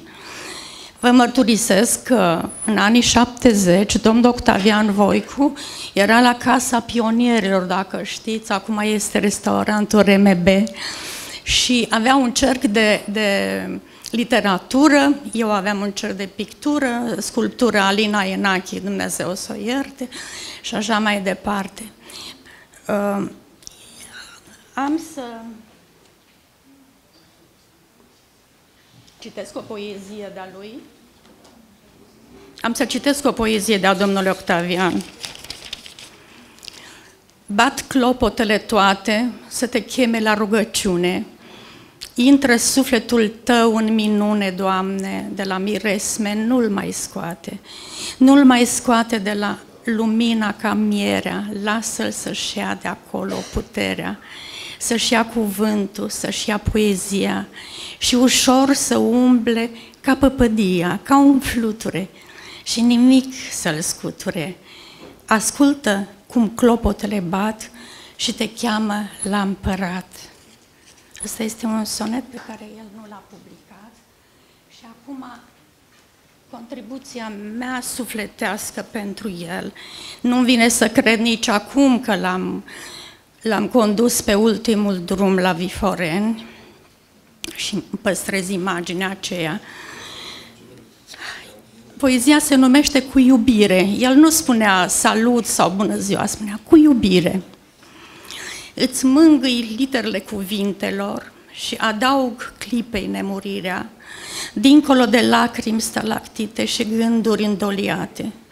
Păstrez adierea zâmbetului cosmosului tău și continui să-ți vorbesc și-ți scriu, să-ți țină de urât acolo, îndepărtate lume albastră spre colini rotunjite, lângă via lunea Ilie și nucii de la poarta cimitirului și îți port amintirea ca un strai de sărbătoare în zi de duminică, zi de mers la biserică, să te regăsesc în vers, în neuitare, în veșnicia dorului de poezie, de visare. Vă doresc Mulțumim, doamna Călin. Nu ne-ați spus unde ați colaborat. Au? La Casa Pionierilor ați colaborat cu Octavian Voicu? Nu aude. Nu se aude. Eu l-am avut profesor, am fost privilegiată. L-am avut profesor de desen în clasa 7 la Generală 2 și în clasa 9 la Liceul Vasile Alexandrie. Nu m-a încurajat să desenez. Sunt o catastrofă. Haideți să vedem. Doamna pentru Victor Standa, să ne spuneți cine sunteți și ce ne citiți. Sunt Petronela Apopei și am, uh, am interferat cu poezia, cu poemele domnului Victor Stan prin uh, intermediul, prin intermediul uh, doamnei Geta Stan, și acum ceva timp uh, îmi pusesem în gând să scriu o recenzie despre una dintre cărțile domniei sale. Întâmplarea a făcut uh, să nu fie o simplă recenzie, ci să fie efectiv lucrare de doctorat sau în apropierea acesteia. Doamne, în grădina ta de rozmarini, spaima și cerul, cățelușe ciudate se gudură la picioarele noastre. Aceeași iederă japoneză, salamandră verde, de lacrimi și amintiri. Prin pereții de viplă subțiri îți zăresc ochii de iubire. Ne caută prin mulțime de umbre condamnate să rămână îngropate în pustie. Brațul pe care ni l-ai întins seamănă mai degrabă cu un toiac de cireș înflorit sau cu o șoaptă de lie ciocârlie, chemându-ne să poposim la izvor ascunși într-o sămânță de măr dintr-un cearcă numbros. Spaima care se gudură la picioarele noastre, asemenea unui duleu ciobănesc, nu are nicio logică și nu-i găsesc înțelesul înainte de moarte sau naștere. Seamănă mai degrabă cu euforia tăcerii dintr-un lujer de floare, în alergare către livezile cerului. Îmi amintesc cât de frumoasă a fost clipa nașterii mele într-o zi din luna septembrie. În clipa aceea un Bonaparte hotărâse să mai înceapă un război împotriva umbrelor neatârnării. Adevăratul învingător nu a fost împăratul, ci viața noastră de fiecare zi pentru care, la naștere, mi-am pus zălog inima. Cred că dumnealui, și nu doar dumnealui, ci cu toții cei care vă aflați și ne aflăm aici, ne-am pus zălog inima pentru a trăi și a viețui în iubire. Cuvintele mele cu siguranță sunt foarte puține, domniile voastre l-ați cunoscut pe Marele Victor Stan, Dumnezeu să-L primească în lumina sa și să mai trăim, să-L pomenim. Vă mulțumesc. Îmi cer scuze pentru emoții. Vreau să vă spun că doamna Petronela Pope este un prieten al filialei Bacău. I-am citit recenziile pe internet și sunt de un deplin profesionalist. Vă mulțumim mult, ne onorați. Mulțumesc din tot Mulțumim. Mulțumesc. Doamna Dana Bosan, ne amintim un pic de Mircea. Un poet excepțional, Mircea Bosan. Pentru mine este un moment copleșitor să vorbesc despre soțul meu la trecut. Și copleșitor din nou pentru că mă aflu în fața unor personalități remarcabile. Misiunea mea devine astfel aproape dificilă. Deci voi încerca să citesc câteva rânduri dintr-un discurs puțin, dintr-un discurs, n-am elocința discursului, uh, pe care îl voi prezenta la lansarea ultimilor sale volume. Um, iată-ne prezența aici, în acest spațiu dedicat artei scrisului. Condeiul mai puternic decât orice sabie. Energetica emanată prin cuvinte. Știm că domeniul culturii este unul important și știm foarte bine că pentru a fi vizibil și pentru a-ți promova activitatea literară trebuie să fii prezent pe rețelele de socializare. Eu cred însă că este necesară o reformă în cultură și mă refer la un proiect național care să adune toți oamenii de cultură și toate ideile lor. O colaborare între culturi. Valorile trebuie preluate, puse în evidență și adăugate mereu altele noi. Idealism, nu? Știm însă că idealiștii mor primii și se pierd mult mai ușor. Dar ce se întâmplă cu scriitorii care nu mai sunt printre noi? De obicei, ei sunt uitați. Lumea în care trăim nu este perfectă. Asta este realitatea. Majoritatea oamenilor trăiesc un fel de autism, ignorându-se unii pe alții, considerându-se mai buni decât alții. Vom scăpa vreodată de acest cerc vicios? Soluția unui trai echilibrat într-o astfel de societate presupune acceptarea celor din jur cu bunele și relele lor, iar gesturile de generozitate aduc mereu un plus de înțelegere și speranță. Generozitate, astfel se poate numi hotărârea colectivului de la editura Papyrus Media, de a publica postum cărțile de poezii și proză ale scriitorului Mircea Bostan. Volumul de versuri intitulat Zodia Vărsătorului este o selecție de poezii reprezentative pentru autor. Mircea Bostan privește lumea din jur cu ochi atât de limpezi încât și noi ajungem să vedem totul într-o lumină nouă. Pofta lui de viață și umorul lui în contextul actual sunt aproape ireale, deși deloc neverosimile și extrem de sincere. O gură de aer proaspăt, diferit, sunt poeziile lui. Ți se bagă sub piele și te face să trepidezi de emoție în ritmul complicatelor sale descrieri. Transformă volumul într-o prezență plină de viață. Ideea care se desprinde din versurile sale este constatarea unei stări de fapt. Trăim astăzi într-o epocă de instabilitate extremă, politică, morală, socială sau fizică pur și simplu. Lumea este instabilă înăuntru și în afară de noi. O carte în care îmbină cu mare responsabilitate acțiunea, drama și umorul într-un tot unitar. Înțelegem că lumea e un mozaic de caractere diferite în care oamenii trebuie să conviețuiască pașnic și dezinteresat. Uneori, autorul pare un tiran, antipatic, erijându-se într-un critic diabolic, dar și fermecător, încât noi, citindu-i versurile, ajungem să-l îndrăgim, chiar dacă zâmbetele sincere se transformă în grimase perverse. Ducem o existență de rutină bazată pe repetarea la nesfârșit a unor tabieturi uneori enervante. Ne adresăm celorlalți cu epitete disprețuitoare și asta la izolează pe autor într-un univers propriu. O să regăsim aceste a, a, în poezia politețe. De fapt, o lume a noastră, a tuturor, condiția umană este evidențiată în poezie, la fel ca și natura umană. Totul în jur este vibrație. Gândurile sale, prin versuri, ne pot duce în întuneric sau lumină. Poezia Cvovadis.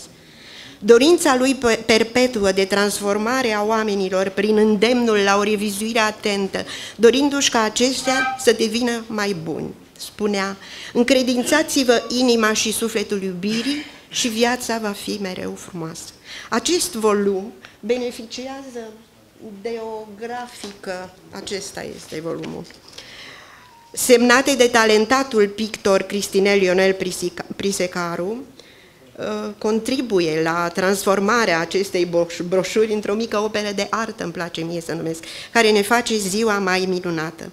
În al doilea volum, care este încă sub tipar, poetul Mircea Bostan ne dezvăluie secretele seducției, tantrețea, pasiunea și senzualitatea abia așteaptă să vă vrăjească. Sunt ultimele poezii scrise de Mircea Bostan, poezii de dragoste atât de tulburătoare și cu rezonanțe atât de adânci, îndrăznețe și pline de dorință. În ele vorbește despre damnare, despre izbăvire, despre pasiune romantică, despre renunțare și sacrificiu. Autorul devine din ce în ce mai profund, descoperind tot ce e important în această lume. A luptat cu himerele din el însuși și cu amăgirile din afara lui. Mult, intens, răvășitor. A câștigat sau a pierdut? Încă nu știu, dar știu că îl cuprind în mine și am înțeles că nu am trecut degeaba prin destinul lui. Sunt tare mândră de el. Poezia nu este așa cum susțin mulți pentru experți sau numai pentru absolvenții de litere. Poezia o carte de poezii sau poezia se citește cu inima, până când pășește în lumea poetului sub imperiul sentimentelor și al mesajelor transmise de acesta. Este un act intim, este o conexiune aparte. Am avut un sentiment măreț de împlinire la apariția postumă a acestor volume de versuri și sunt convinsă că eternitatea se moștenește prin poezie. Și acum o să citesc o poezie, dacă mai aveți puțin răgaz. Nimeni Știa că din această lume nimeni nu va pleca viu. Știa că unul singur a călcat peste moarte și a înviat a treia zi. Și cu toate acestea avea senzația că iubirea lui e nemuritoare. Știa prea bine că amintirea durează neîndestulător. Știa despre efemeritate și poarta morții. Știa despre procesiuni funerare și neființă. Știa despre nenumărate verzi și uscate, nefolositoare. Știa despre nimeni, despre nimic, despre el și despre alții, dar nu știa când tobele singurătății vor fi pregătite pentru a bate timpul adunării. Vă mulțumesc tare mult și mă iertați pentru emoții. Mulțumim mult, doamna Dana Bostan.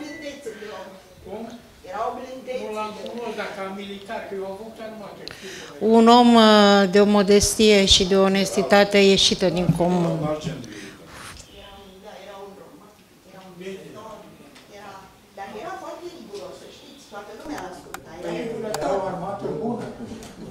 L-am prețuit mult pe Mulțumesc.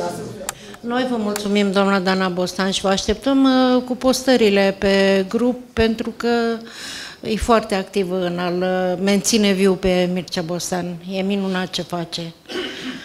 Domnul Dinescu, despre cine vă voiați să vorbiți? Gri Grigori Viero, poftiți! Am zis să ne amintim și de prietenii noștri din, din Basarabia, că de seară o să mai vorbim și despre un alt mare prieten, chiar al nostru, a filialei, care a participat la foarte multe acțiuni ale noastre. Vă rog, domnul Bună dimineața, prieteni! Nu se supără nimeni, pentru că vorbim despre cei care au plecat în lumea umbrela. Nu se supără nimeni, domnule profesor. Uh, stimați prieteni, am să spun câteva vorbe despre Grigore Viero, uh, cel care a iubit, uh, știu, România ca pe alt, nimeni altceva, cel care a fost prietenul Galațului, prietenul tuturor orașelor și, sigur, prieten al orașului Bacău. și ca să fie o chestie inedită, am să vă vorbesc despre ultima zi din viața lui Grigore Viero. Iată, primesc un telefon pe 6 ianuarie 2009 de la Chișinău, după ce ne-am urat cele cuvenite pentru anul în curs, așa, primesc un telefon de la uh, Grigore Viero, care mă roagă să fiu pe data de 13 ianuarie la Cahul, unde trebuia să moderez spectacolul, uh, unde venea și uh, Paul Surugiu, Fuego. Eram, uh, Grigore Vieru era oaspetele meu de, ori de câte ori trecea de la București sau din altă parte, prin Galați, spre Chișinău, și unde întârzea câte 10 zile, 7, depinde cât avea la dispozițiune, iar când plecam la Chișinău, la fel procedam cu mine. Mă reținea câte 7 până la 10 zile. Mă rog. M-am, uh, eu fiind un uh, student ascultător, pe data de 13 ianuarie m-am prezentat la uh, Cahul, la secția cultură, la Comitetul Raional. S-au mirat aia și, domnule, dar am uitat, scuze, am uitat să te anunț că s-a amânat, uh, știu eu, întâlnirea cu Viero, pentru data de 15 ianuarie. Zice, o să-ți decontăm drumul, dar ce facem cu oboseala dumitare? Zic, nu faceți nimic, nici cu drumul, știți cu oboseala ăla, pentru că știți să mă descurc și singur. Dacă greșesc, sigur greșesc și cu voia mea, dar nu, nu cu voia voastră. Distanța, zic, e prea mică, de la Garas la Cahul, 60 de kilometri, plus 60, faceți o coteală, că e simplu, zic eu, alora, nu dumneavoastră, Doamne ferește. Și plec înapoi la gara pe 15, mai iau cu mine niște martori, ghilimele, da? Uh, printre care și pe Nicolae Bacalbașa, de care ați auzit, vi-l spun pentru că uh, se merită. Așa? E o persoană publică. Un om de cultură, scriitor bun de altfel. Și ajung la Cahul, înainte, după 10 minute vine și Grigore Viero și zice, a, ce mă bucur, Viorel, că ne vedem anul ăsta. Zice, hai să mergem la, la rectorat, la Universitatea Bogdan Petricei cu Hajdău. Ne-am dus, am ciugulit niște bomboane pe acolo, niște cafea, nu mai știu dacă am mai ciugulit și altceva, probabil că nu. Probabil. Lucrăm pe teoria probabilităților, nu? Și plecăm cam jumătate de oră a durat chestiunea. Plecăm uh, la mașini. Vieră se domnule, sunt cam obosit, hai să dorm și eu un pic, măcar 5 minute. Zic, da, domn Vieră. După un minut zice, bă, dar stai puțin, nu am să dorm, am să discutăm literatură, amândoi. Și discutăm noi așa, la orele 17, când trebuie să înceapă spectacolul, cineva vine și bate în geam, zice, domn, uh, domnilor, da, haideți să începem spectacolul. Era ger afară, dar mai ger era în încăperea, în Palatul Culturii, care acum a luat numele lui Nicolae Bodgros. Cred că pe drept. Nu cred, cu siguranță. Și ajuns în fața palatului, ne așteptau oamenii toate vârstele, bătrânii se rătau mâna lui Viero și întrebau, se domnule, dar când facem reunirea? Noua, Marea Unire. Și am intrat în sală, ne-am ajutat în primul rând, ni se face semn cineva de la cultură, care acum este inspector general la Direcția Învățământ Renal Cahul, îmi face semn să deschid spectacolul. Îi spun lui Vieru, căruia a apăruse cartea uh, așa, uh, recent la o editură din Iași, Zic, domnul Vieru, o să vorbesc despre cartea dumneavoastră și nu, nu face treaba asta Viorel pentru că este uh, ziua și spectacolul lui Fuego. Zic, bine, bine, m-am enervat. Dar zic, Fuego este un lăutar, dumneata ești un mare poet. Și am vorbit vreo 20 de minute și îl invit pe... Deci am prezentat întâi delegațiile, prezentat pe Fuego și îl invit pe Viero, vorbește și el, lumea aplauda, că l-așteptau pe Viero, sigur că da, voiau așa un pic de spectacol, ce s-a și întâmplat. Și la un moment dat uh, eram pe scenă și Viero îmi face semn că vrea să vină pe scenă încă o dată. Vine și cântă cu Fuego uh, un cântec pentru anul nou, că ei uh, sărbătoresc anul nou, după cum bine știți, pe vechi, cu două săptămâni mai târziu. Și prezentăm cartea Taina care mă apără. Mă rog, ni s-au dat niște icoane, niște diplome, le-a citit actualul inspector general diplome în fața publicului. Vreau să spun că sala e de 700 de persoane, dar cred că era peste 900, așa? Și plecăm la Flamingo, un magazin de desubt deasupra restaurant, și la un moment dat aduce niște pâine neagră și Viorel spune, zice Viorel, vreau și eu două feliuțe, că de asta mânca la mama acasă. Vreau să-i dau Raisei. Raisa fiind doamna Viero, soția lui Grigore Viero. Mă rog, vorbesc cu Viero, îi spun să vină la Galați, pentru că era mai aproape decât Chișinău. El tot uh, ocolea un răspuns cert, la un moment dat vine cineva din delegația de Galați, nu Flori, altcineva, și zice, domnule, dacă Grigore Viero a stabilit că vine pe 30, lasă să vină atunci și stă mai mult la, la Galați. Nu știu ce, m-am, mi-am rătăcit chiar existența mea și am zis, bine. Și după aia, deci din procentajul de 87%, cât câștigase meu, am ajuns la 60% în ceea ce vrește convingerea pentru Viero. Și am încercat din nou, am patinat în gol, până la urmă se hotărăște ca Viero să plece să vină pe 30 ianuarie. Îi spun șoferului, care șofa pe o mașină de vreo 20 de ani, veche, o vechitură, nu? Sau cum ar spune unul obraznic, un gunoi, nu? Cam așa. Bun. Am spus asta intenționat. Rabla spunem noi. da? Uh, și spune Gheorghe Munteanu, șoferul, zic, domnule, ai grijă că l-ai pe Vieru cu dumitare, ai grijă el până la Chișinău, că după aia are el grijă singur de el. Zic, da, da, am înțeles. Sigur că era ceață prin Chișinău, drumurile Basarabiei destul de, uh, știu eu, uh, afectate. Și ne-am dus la Mitropolie, am stat până pe la 12 noaptea, plecat spre Galați și pe la două fără un sfert, măsură Nicolae Dabija. Zice, ce faci? Păi zic, doar, dar zic, ce cu tine? Că niciodată nu mă sun la ora asta. La care Dabija îmi spune, zice, uh, ești în Galați. Da, zic, păi da. Zice, uh, Grigore Vieru a intrat cu mașina într-un panou publicitar și este în comă la spital. Nu am mai dormit toată noaptea, bineînțeles, și dimineață îl sun pe Dabija, cum e cu Vieru. Pe la șase și jumătate, așa. Și zice, domnule, s-a dus ambulanța și când a văzut că e Vieru, medicul, și a pus mâinile în cap și spune, zice, oh, ăsta este Vieru.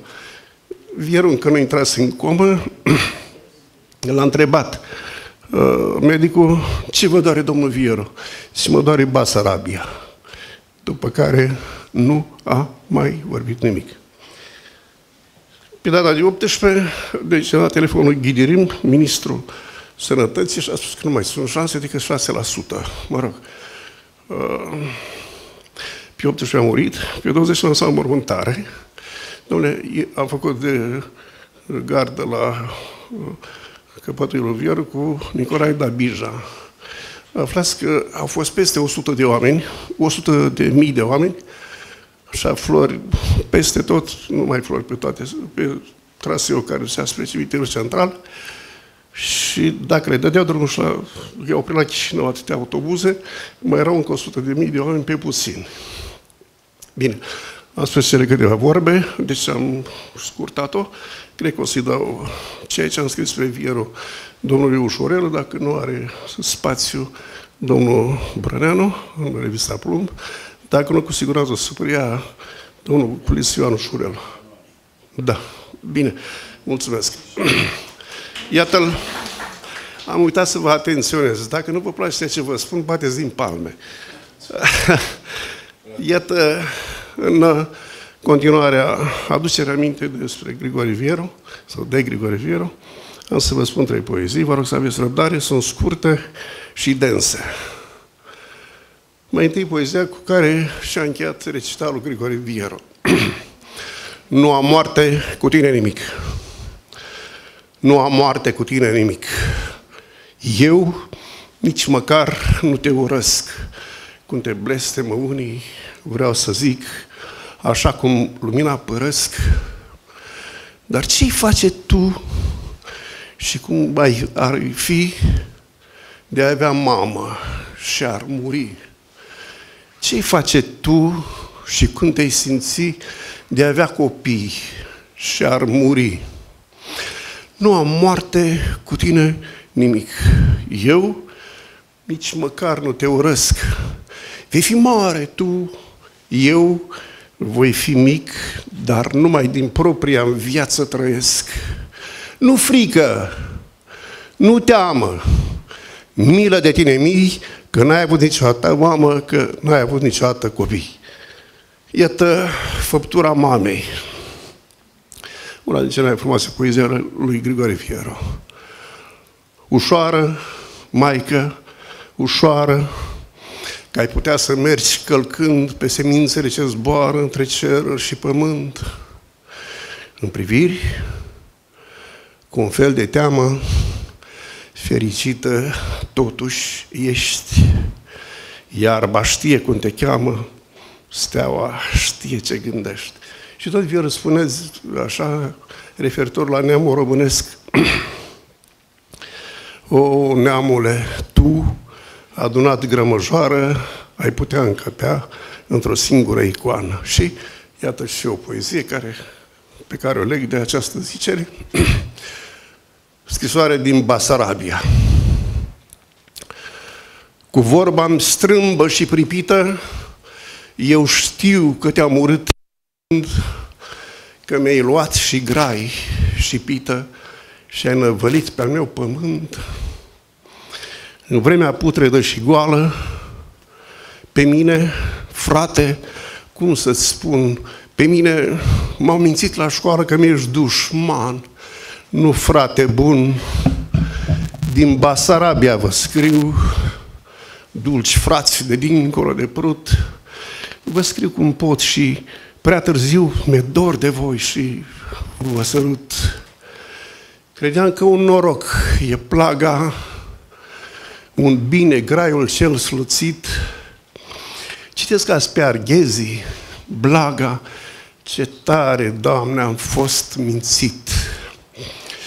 Cu pocăință nesfârșită, mă rog iubitului Iisus să-mi ierte vorba rătăcită ce despre tine, frate, am spus din Basarabia vă scriu, dulci frați de dincolo de prut, vă scriu cum pot și prea târziu mi-e dor de voi și vă sărut. Aflând că, frate mești, odată scăpai o lacrimă în priviri ce a fost pe loc și arestată și dusă în ocnă la Sibiri. Acolo, în depărtata zare, din drobul mut al lacrimei, ocnașii scot și astăzi sare și nu mai dau de fundul ei. Din Basarabia vă scriu, dulci frați de dincolo de prut, vă scriu cum pot și prea târziu mi-e dor de voi și vă sărut.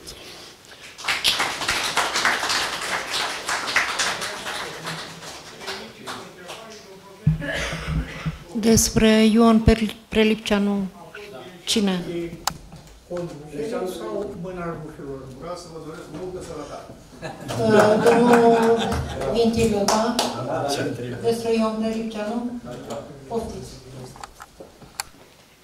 Bună ziua! Am aflat uh, mai înainte că trebuie să spun câteva cuvinte despre Ion Prelipceanu. Uh, voi spune, voi fi cât se poate de scurt, știu că timpul uh, ne presează pe toți. Ion Prelipceanu era o figură aparte, un autor de o generozitate ieșită din comun. Își cheltuia și fiecare băn, și ultimul bănuț pentru a publica autori bucovineni. Era un, un împătimit de Bucovina, era trăitor în spațiul uh, mirabil al rădăuților, o bucovină în miniatură, dacă e uh, să privim uh, astfel acea zonă, iar el era reflexia acesteia. Practic, spiritul său era unul clocotitor, Uh, era mereu într-o dinamică ieșită din comun uh, pentru a găsi uh, încă un scriitor din spațiul Bucovinei pentru a-l publica. A publicat o mulțime de antologii. Una dintre ele, spre exemplu, era, a fost o antologie într-un format mare, într-un format scos în condiții grafice deosebite ale a lui Iulian Vesper. Întreaga poezie a lui Iulian Vesper uh, uh, apărută după Revoluție, după anii 2000, îi se datorează lui Ion Prelipceanu. Uh, a fost profesor de franceză, s-a născut la Horodnicul de Jos în 1946, pe 24 septembrie, a fost membru al Uniunii Scriitorilor din România, filiala Bacău, al Societății Scriitorilor Bucovineni și al Societății pentru Cultura și Literatura Română în Bucovina. Uh, acolo a avut o activitate, dar și în sânul societății scriitorilor, o activitate deosebită. Spre exemplu, a publicat inclusiv autorii contemporani. Uh, la editura sa, care îi purta numele, a publicat-o pe o autoare foarte bine cotată în Bucovina și o autoare foarte bună, uh, Mălina Nițoaie.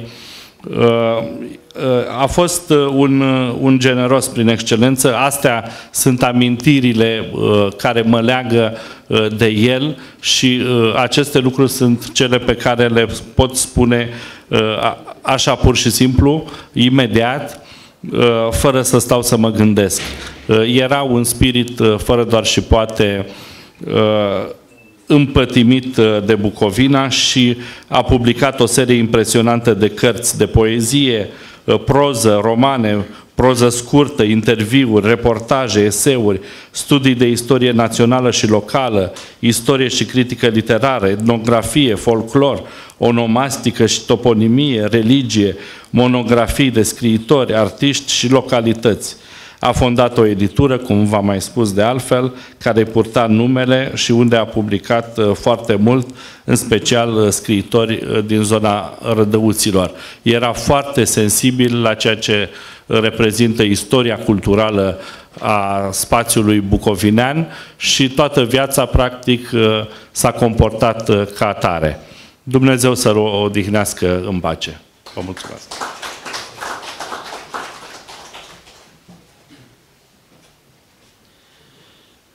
V-ați plictisit? Nu? Aoleu, avem două apariții, stați. Să vă prezint încă doi e, e, colegi de noștri care s-au adăugat. Două vipuri, da. Doi vii, da, doi vii. E vorba de doamna uh, Mioara Bahna, critic și eseist literar, și vorba de Dan Perșă, prozator, poet și care vreți. Vă rog să-i aplaudați. Uh, o să mai avem uh, două momente, doamna Cici Moldovan și avem un tânăr care s-a adăugat nou. A, și despre domnul, așa, mai e și tânărul nostru Gabriel, da, hai Cici, da. După care o să cam încheiem prima parte a zilei și o să mergem să vizităm expoziția de uh, sculptură. La sugestia, mă iertați că n-am să am nimic uh, elaborat, ca și dovadă niște doamne pleacă uh, când mă văd, uh, n-am să stau mult. Uh, despre Doru Calmuțchi aș vrea să ne amintim, a fost o figură absolut originală în cadrul filialei noastre, știți, prozator, dacă ar fi să-i pun o etichetă antumă și postumă, aceasta ar fi un rebel, un nobil rebel, un, un rebel și un um, om care, dacă Viero a iubit Basarabia, el a iubit România și această iubire a fost atât de uh, turbulent manifestată în societate, deși ca civic și ca scriitor, încât a rămas o figură absolut emblematică printre scriitori. Uh, Primul lui roman a fost uh, propus pentru uh, la nivel național pentru premiere și a refuzat. Uh, nu se știe din ce motiv, dar a refuzat premiul, primul premiu, deci era premiul de debut.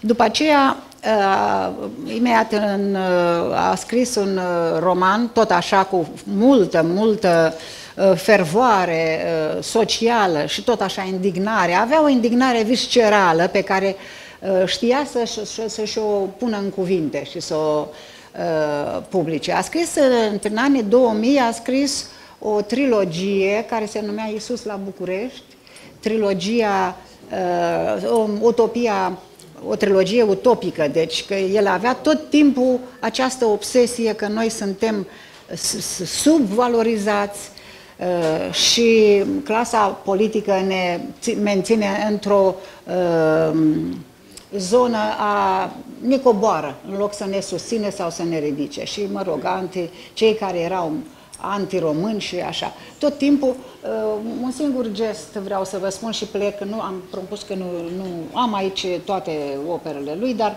uh, înainte de, no, de 2097, cred, uh, a făcut un gest care este unic, cred eu, apropo de această revoltă a lui pe o cruce mare de lemn, mare de lemn, și a înșirat toate cărțile lui, care erau destule, așa, și uh, a făcut un, uh, o plimbare, cu ghilimele de rigoare, pe centrul Bacăului și a dat foc la cărți, într-o indignare pentru tot ce este non-valoare post-89. A rămas uh, așa în memoria noastră, poftiți? Cu crucea, da? A mers cu crucea, da, asta am spus, a plimbat pe centru cu crucea pe spate. Și a, în presă a apărut cum târâia crucea aceea care era mare, era mai mare decât statura lui, o târâia. A fost un om uh, plin de credință. El avea uh, de credință, uh, credință în sensul religios și credință pentru toată, tot ce este românism, deși era, ce credeți că era? Păi mama lui era poloneză, din neam de neam de neam de neam erau polonezi și a fost mai patriot decât noi. Da, el pornit de la Pitești venit, dar mă rog, asta, asta îi sunt rădăcinile. Ce voiam să Voiam să o pomenesc, o pomenesc, că îmi pare rău că nu este o Zana. În această felul acesta de a fi rebel i-a adus multe de i-a făcut foarte multe de servicii și a îngreuiat un pic existența, iar Ozana, soția, Ozana Kalmuțchi, Uh, care este muzician și a fost uh, director artistic la uh, Filarmonică mulți ani, după ce el s-a stins și a pierdut busola și nici nu mai știm de ea, este pe undeva, am văzut-o. Da, da, dar vreau să spun, ca muzician, ea nu a mai, ca muzician s-a retras și din funcția respectivă nu mai are nicio chestie, nici nu mai intră prin a fost, a fost, da, a fost un pic așa. Aia a fost o excepție, da. A fost o excepție, dar concertele de joia la care mergem, ea nu mai, nici nu mai participă. Deci asta este uh, cu uh, traiectoria pământească a lui Doru Calmuschi, pe care îl pomenim și să ne amintim de el că a fost un rebel spre binele României. Mulțumim frumos! Mulțumim! Vreau să vă mai adaug o chestie legată de Doro Calmos, ultima lui carte, care era o carte de aforisme, spune o chestie extraordinară. Zice, câtă energie se consumă pe vorbărie în România, ar putea fi alimentat Europa un an de zile cu energie electrică. Și are mare dreptate. Pe cuvânt. Asta o spune. Am reținut asta că efectiv mi-am zis, câtă dreptate are. Asta este. Consumăm atâta energie pe vorbării, vorbesc de toată media. Doar, uitați-vă dimineață până în seară, dezbatem, dezbatem și nu se vede nimic în urmă. De asta era și un realist ancorat în realitate și un neadaptat pe bună dreptate. Bun, cine urmează, doamne? Despre domnul Lucian uh, Mănăilescu. Știu, uh, domnul Lucian Mănăilescu, un poet de săvârșit și un artist Uh, de fotografie extraordinar. Dumnezeu să-l odihnească. Acum, uh, domnul uh, Pogonaru ne vorbește de Emil Nicolescu, da? Da, mi-am notat câte ceva Poftiți. despre Emil, unul din cei mai vechi și mai buni prieteni și de suflet și literari din Buzău. Îl consider pe Emil Niculescu un spirit cu totul special, singular din multe în multe privințe, în cercurile literare buzoiene și nu numai. Am frecventat împreună cenaclul de odinioară al uh, ziarului Viața Buzăului, la care venea și Gelu Fulga, atunci pilot stagiar la unitatea militară de la Boboc, de, de zbor. Așa.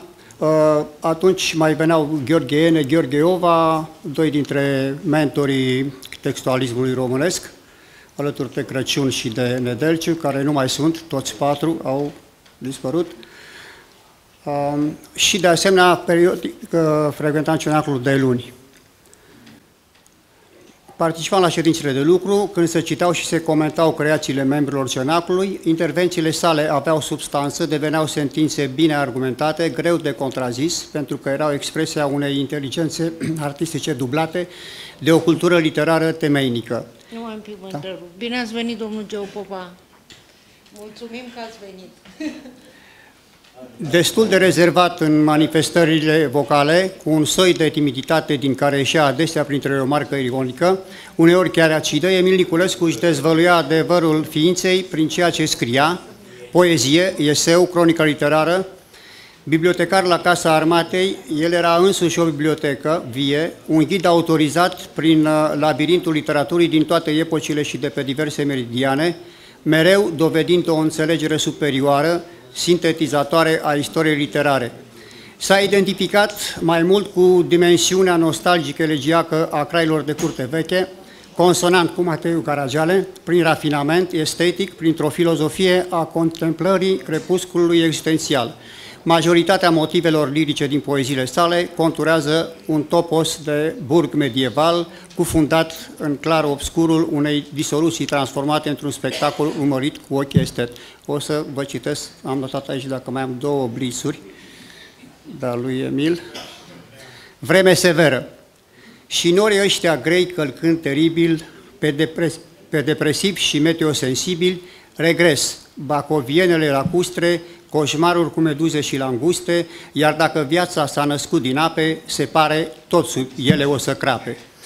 Și tratație, calm, plat, nu mișcă în arbor nicio frunză, indice de umiditate basculant, primari montează corturi să răspunză cu bănci, cu aer, cu apă rece, nu rahat. Mulțumim. Domnul Gabriel Dinu, poftiți, vreau o completare pentru Mircea Bostan. Și vă așteptăm Stavrofora.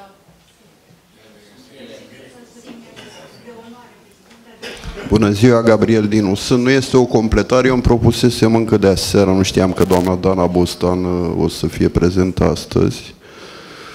Uh, eu pe scriitorul Mircea Bostan l-am cunoscut în 2019 la Chișinău, la o întrunire literară. Atunci am făcut un schimb de cărți, eu debutasem cu Câinele cu ochii albaștri, dumnealui mi-a oferit, cred că ultima carte, Proprietarul de fericire, uh, cu o dedicație destul de onorantă de la proprietarul de fericire către un câine atipic care se deghizează în pielea lui Gabriel Din și așa mai departe. Uh, acum trei ani a unui maraton poetic pe pe Facebook în care trebuia să provoci șapte prieteni să posteze timp de șapte sau opt zile câte o poezie. Eu am rămas uimit că m-a sunat la două zile după ce l-am provocat uh, Mircea Bostan să-mi spună că este în spital. Credeam că încearcă să spună că nu poate datorită situației medicale. Și nu, nu a fost așa. Uh, mi-a zis Gabi, știu că au trecut două zile, dar aș putea să încep azi. Și a început, a fost prima zi de maraton, uh, poezie care îmi dau seama, deci cu trei săptămâni înainte de plecarea lui, uh, un fel de testament literar. Uh, poezia se chema Tu n-ai să mori niciodată. Tu n-ai să mori niciodată, mirosul tău a pătruns în esența fiecărui parfum, părul tău a devenit pădurea în care neîmplinirile se pierd, trupul s-a desenat pe retinele ce răvnesc frumosul, tu n-ai să mor niciodată pentru că în lacrima ochiului tău Trandafirii înfloresc în fiecare zi. Tu n-ai să mori pentru că n-ai rostogolit iubirea pe dealuri de trădare și n-ai ucis speranța din semnul de întrebare, tu n-ai să mori niciodată că-și zâmbe de fecioară, cu glas de înger ești, și loc pentru repaus nu când din privirile șeleste un răsărit rotund incandescent țâșnește. Tu niciodată n-ai să mori, căci zămislită între nori vei învia în zbor cu cârtul de cocori.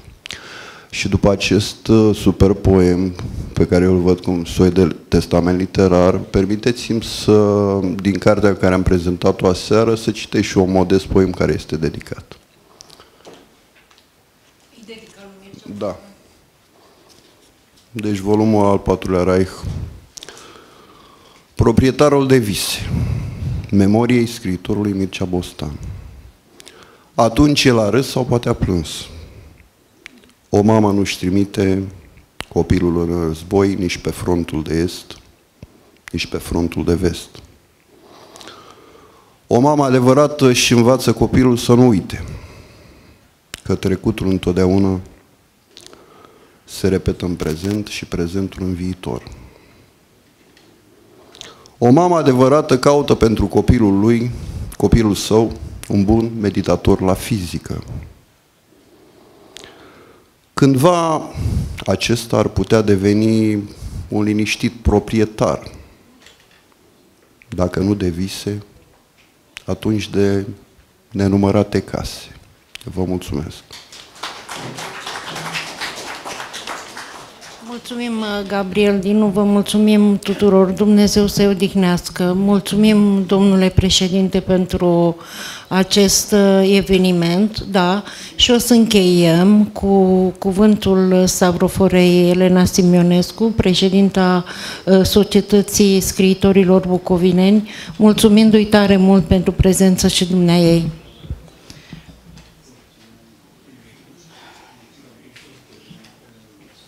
Mie vă rog să-mi acordați un singur minut. Nu știam eu că voi vorbi aici. Când am plecat de la mănăstire, nu m-am gândit la atâta cinste. Dar auzind aceste multe cuvinte frumoase, numai despre domni poeți, m-a apucat o ușoară tristețe. Doamnele poetese n-au avut loc? N-au scris cu aceeași simțire? Cu aceeași bucurie de viață? Și o secundă doar să vă spun despre Veronica, Carmen Veronica Stejcic, care ne-a numit pe toți cei iubitori de poezie și ne-a luat cu ea pe iahtul cu prieteni imaginari. Ingineră de formație, poetă prin vocație, Veronica a rămas și va rămâne în numele cititorilor de poezie din Bucovina și nu numai, ca o făclie, ca o luminiță. Dumnezeu să o odihnească cu drepție.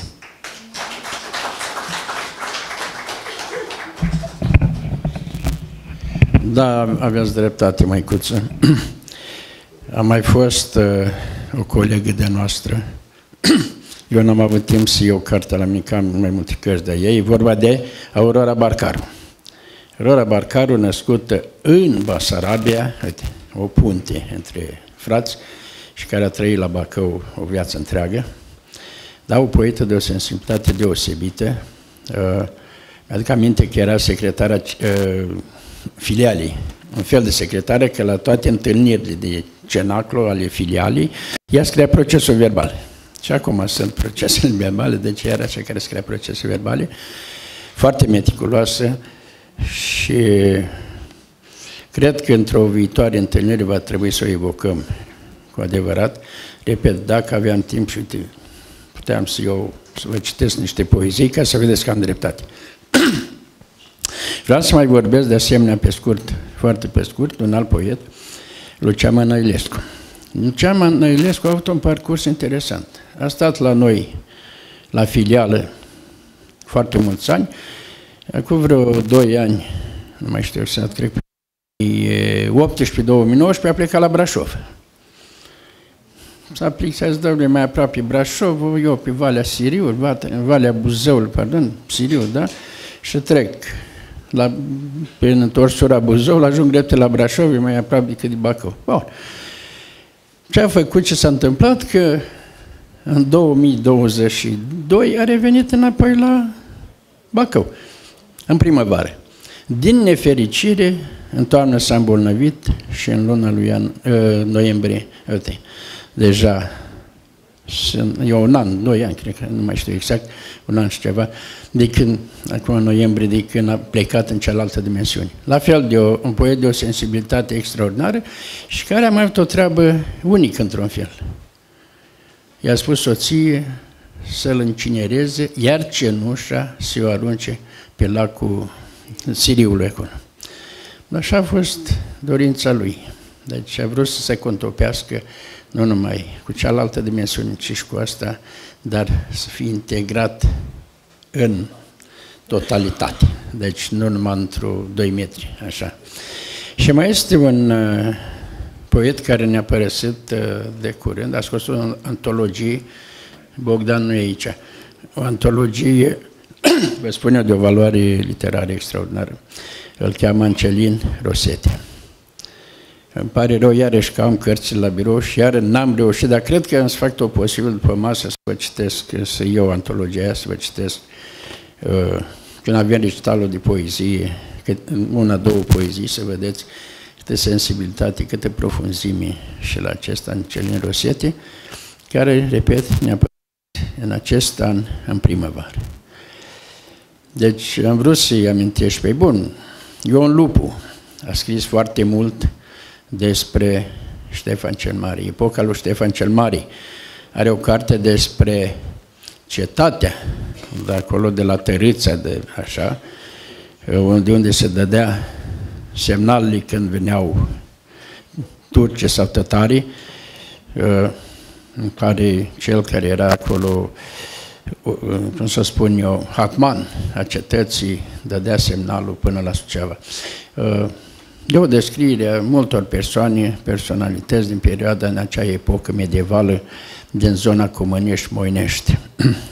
Carte, parcă are trei sau patru cărți, așa, plus mai are o carte de dragoste. Iarăși un scriitor de o sensibilitate deosebită, deci Ioan Lupu, să nu-l uităm și să ne amintim și de el cu aceeași dragoste ca și de ceilalți colegi. Nu mai vorbesc de George Bacovia, că toată lumea vorbește, nu mai vorbesc de Vasile Alexandri, dar mai este unul care l-am uitat cu toți și care a creat un curent mondial, care și astăzi e valabil în Brazilia, dadaismul. Brazilienii și astăzi îmbrățișează, sunt cuceriți de acest curent care a fost dadaismul, pornit undeva din Elveția, dintr-o așa, stând și la un cabaret, așa, stând acolo și hai să facem versuri, punem în poeziile punem versul la țuric, da. punem versul într-o căciulă, scoatem și, și uite așa s-a născut dadaismul, deși el era deloc, uh, părinții erau de peste deal, de la Gârceni, peste deal de Lipova, dar a făcut școala și a trăit la Moinești. Tai se ocupa, fiind evreu, se ocupa cu comerțul de, uh, și făcea mult export cu brânză cu brânză, cu caș, cu chestii din astea, care... Deci, vine într-o familie totuși de oameni negustori și el a făcut școala la Moinești, e legat de Moinești, școala îi poartă numele. Deci, iată, o alt... Hm? Vă rog. Da, dar părinți acolo și aveau fermă acolo, așa, el pleca vara, stătea la Gârceni, acolo mai venea în vacanțe, da, născut la Moinești, eu spun uh, de unde, unde și-a desfășurat activitatea părinți. Da. Aoleu, am uitat de Sorina Munteanu, da, a lui Victor, traducătoare de excepții, uh, din limba greacă. Are chiar o carte care o am și eu, 33 de poezi greci contemporani. Ea a murit, uh, de fapt n-a murit în Germania, era pe lângă Uh, Metropolia Iașului în Germania, așa, dar a murit la Iași, fiind bolnav, a adus-o la Iași, a murit acum câțiva ani de zile, cred că sunt tot așa prin 2018-2007, sunt, sunt câțiva ani. Deci, iată, se întâmplă. A, mai e să nu-l uităm pe Gheorghe Drăgan, de care nimeni nu mai vorbește, critic și eseist, critic literar, fratele lui Mihai Drăgan, de asemenea profesor universitar, uh, nu, eminescolog, uh, la fel de excepție, pe care și mare, dar l-am mai uitat și pe el, Gheorghe Izbășescu, poet, prozator, la fel, are deja Casa Memorial la Onești, unde domnul Bărbunțoi nu aici. Așa, am fost la sfințirea acelei case memoriale. E apartamentul în care o stat, dar care i pus o placă pe blocul respectiv, s-a sfințit placa de respectivă de marmură, dar treci și vezi, bă, Gheorghe Spășescu. Cel care, de fapt, a făcut, nu, cenaclul zburător și care a promovat și, uite, acolo ne-am să aminte, aoleu, ce am prins-o, care ar putea să ne spună câteva cuvinte, nu știu dacă știți, o poetă venită recent la noi, o cheamă Maria Taredoi, care a fost membru al acelui cenaclu și ar putea să ne spună două, trei cuvinte de să Bășescu, dacă și mai amintește, din când era elev, da? Haideți, vă rog. vă rog, mai avem o leacă răbdare că merită și Izbășescu. Chiar a fost un, uh, un suflet uh, interesant. Vă rog.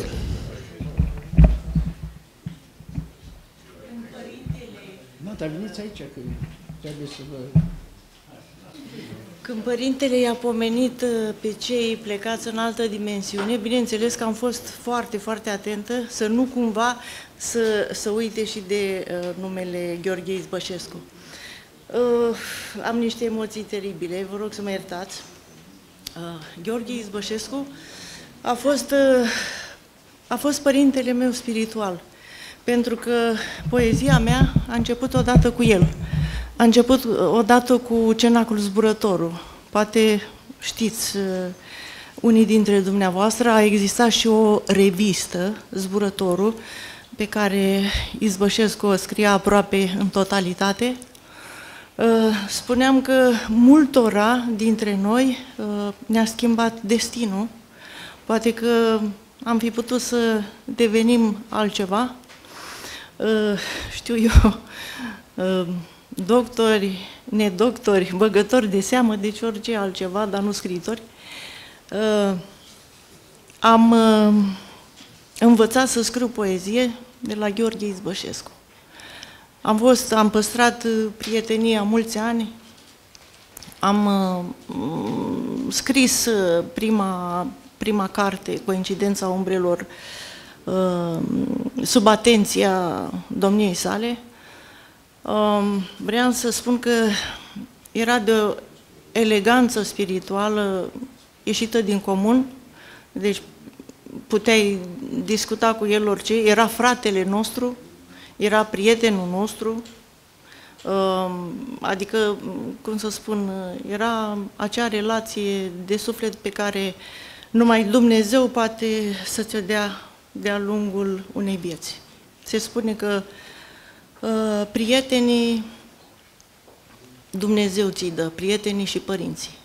Așa că mulțumesc lui Dumnezeu pentru prietenia lui Gheorghe Izbășescu și pentru că, dacă am ajuns scriitor, am ajuns pentru că Gheorghe Izbășescu m-a învățat să scriu poezie.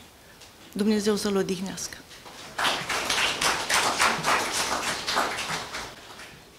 O să vă mai rog doar să îngăduiți încă vreo minut, pe un minut, mai mult nu. Domnul Ventilă vrea să ne citească o poezie, de ce spuneam eu despre Anselin Rosete.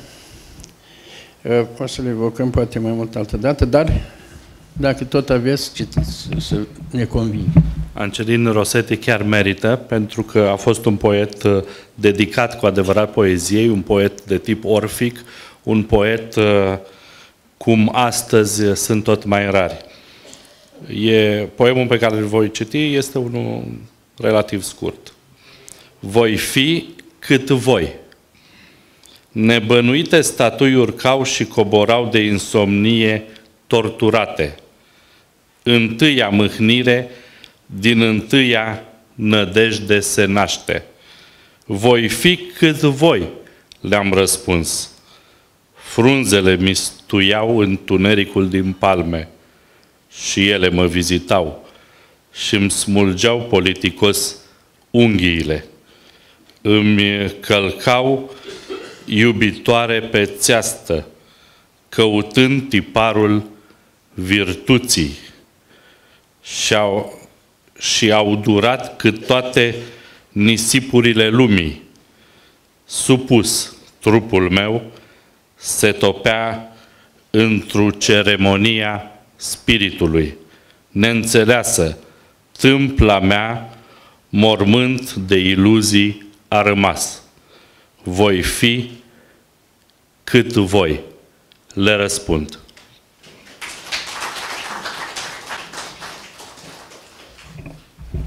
Deci cu asta cred că am uh, epuizat tema de astăzi.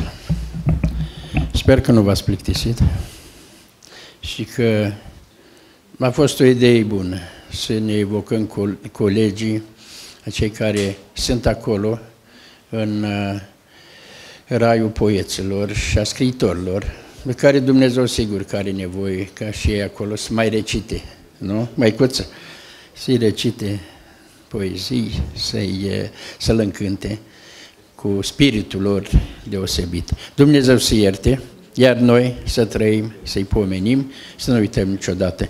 Au fost și rămân în sufletele noastre, colegii noștri, o dâră de lumină pe care să o păstrăm și să o ducem mai departe.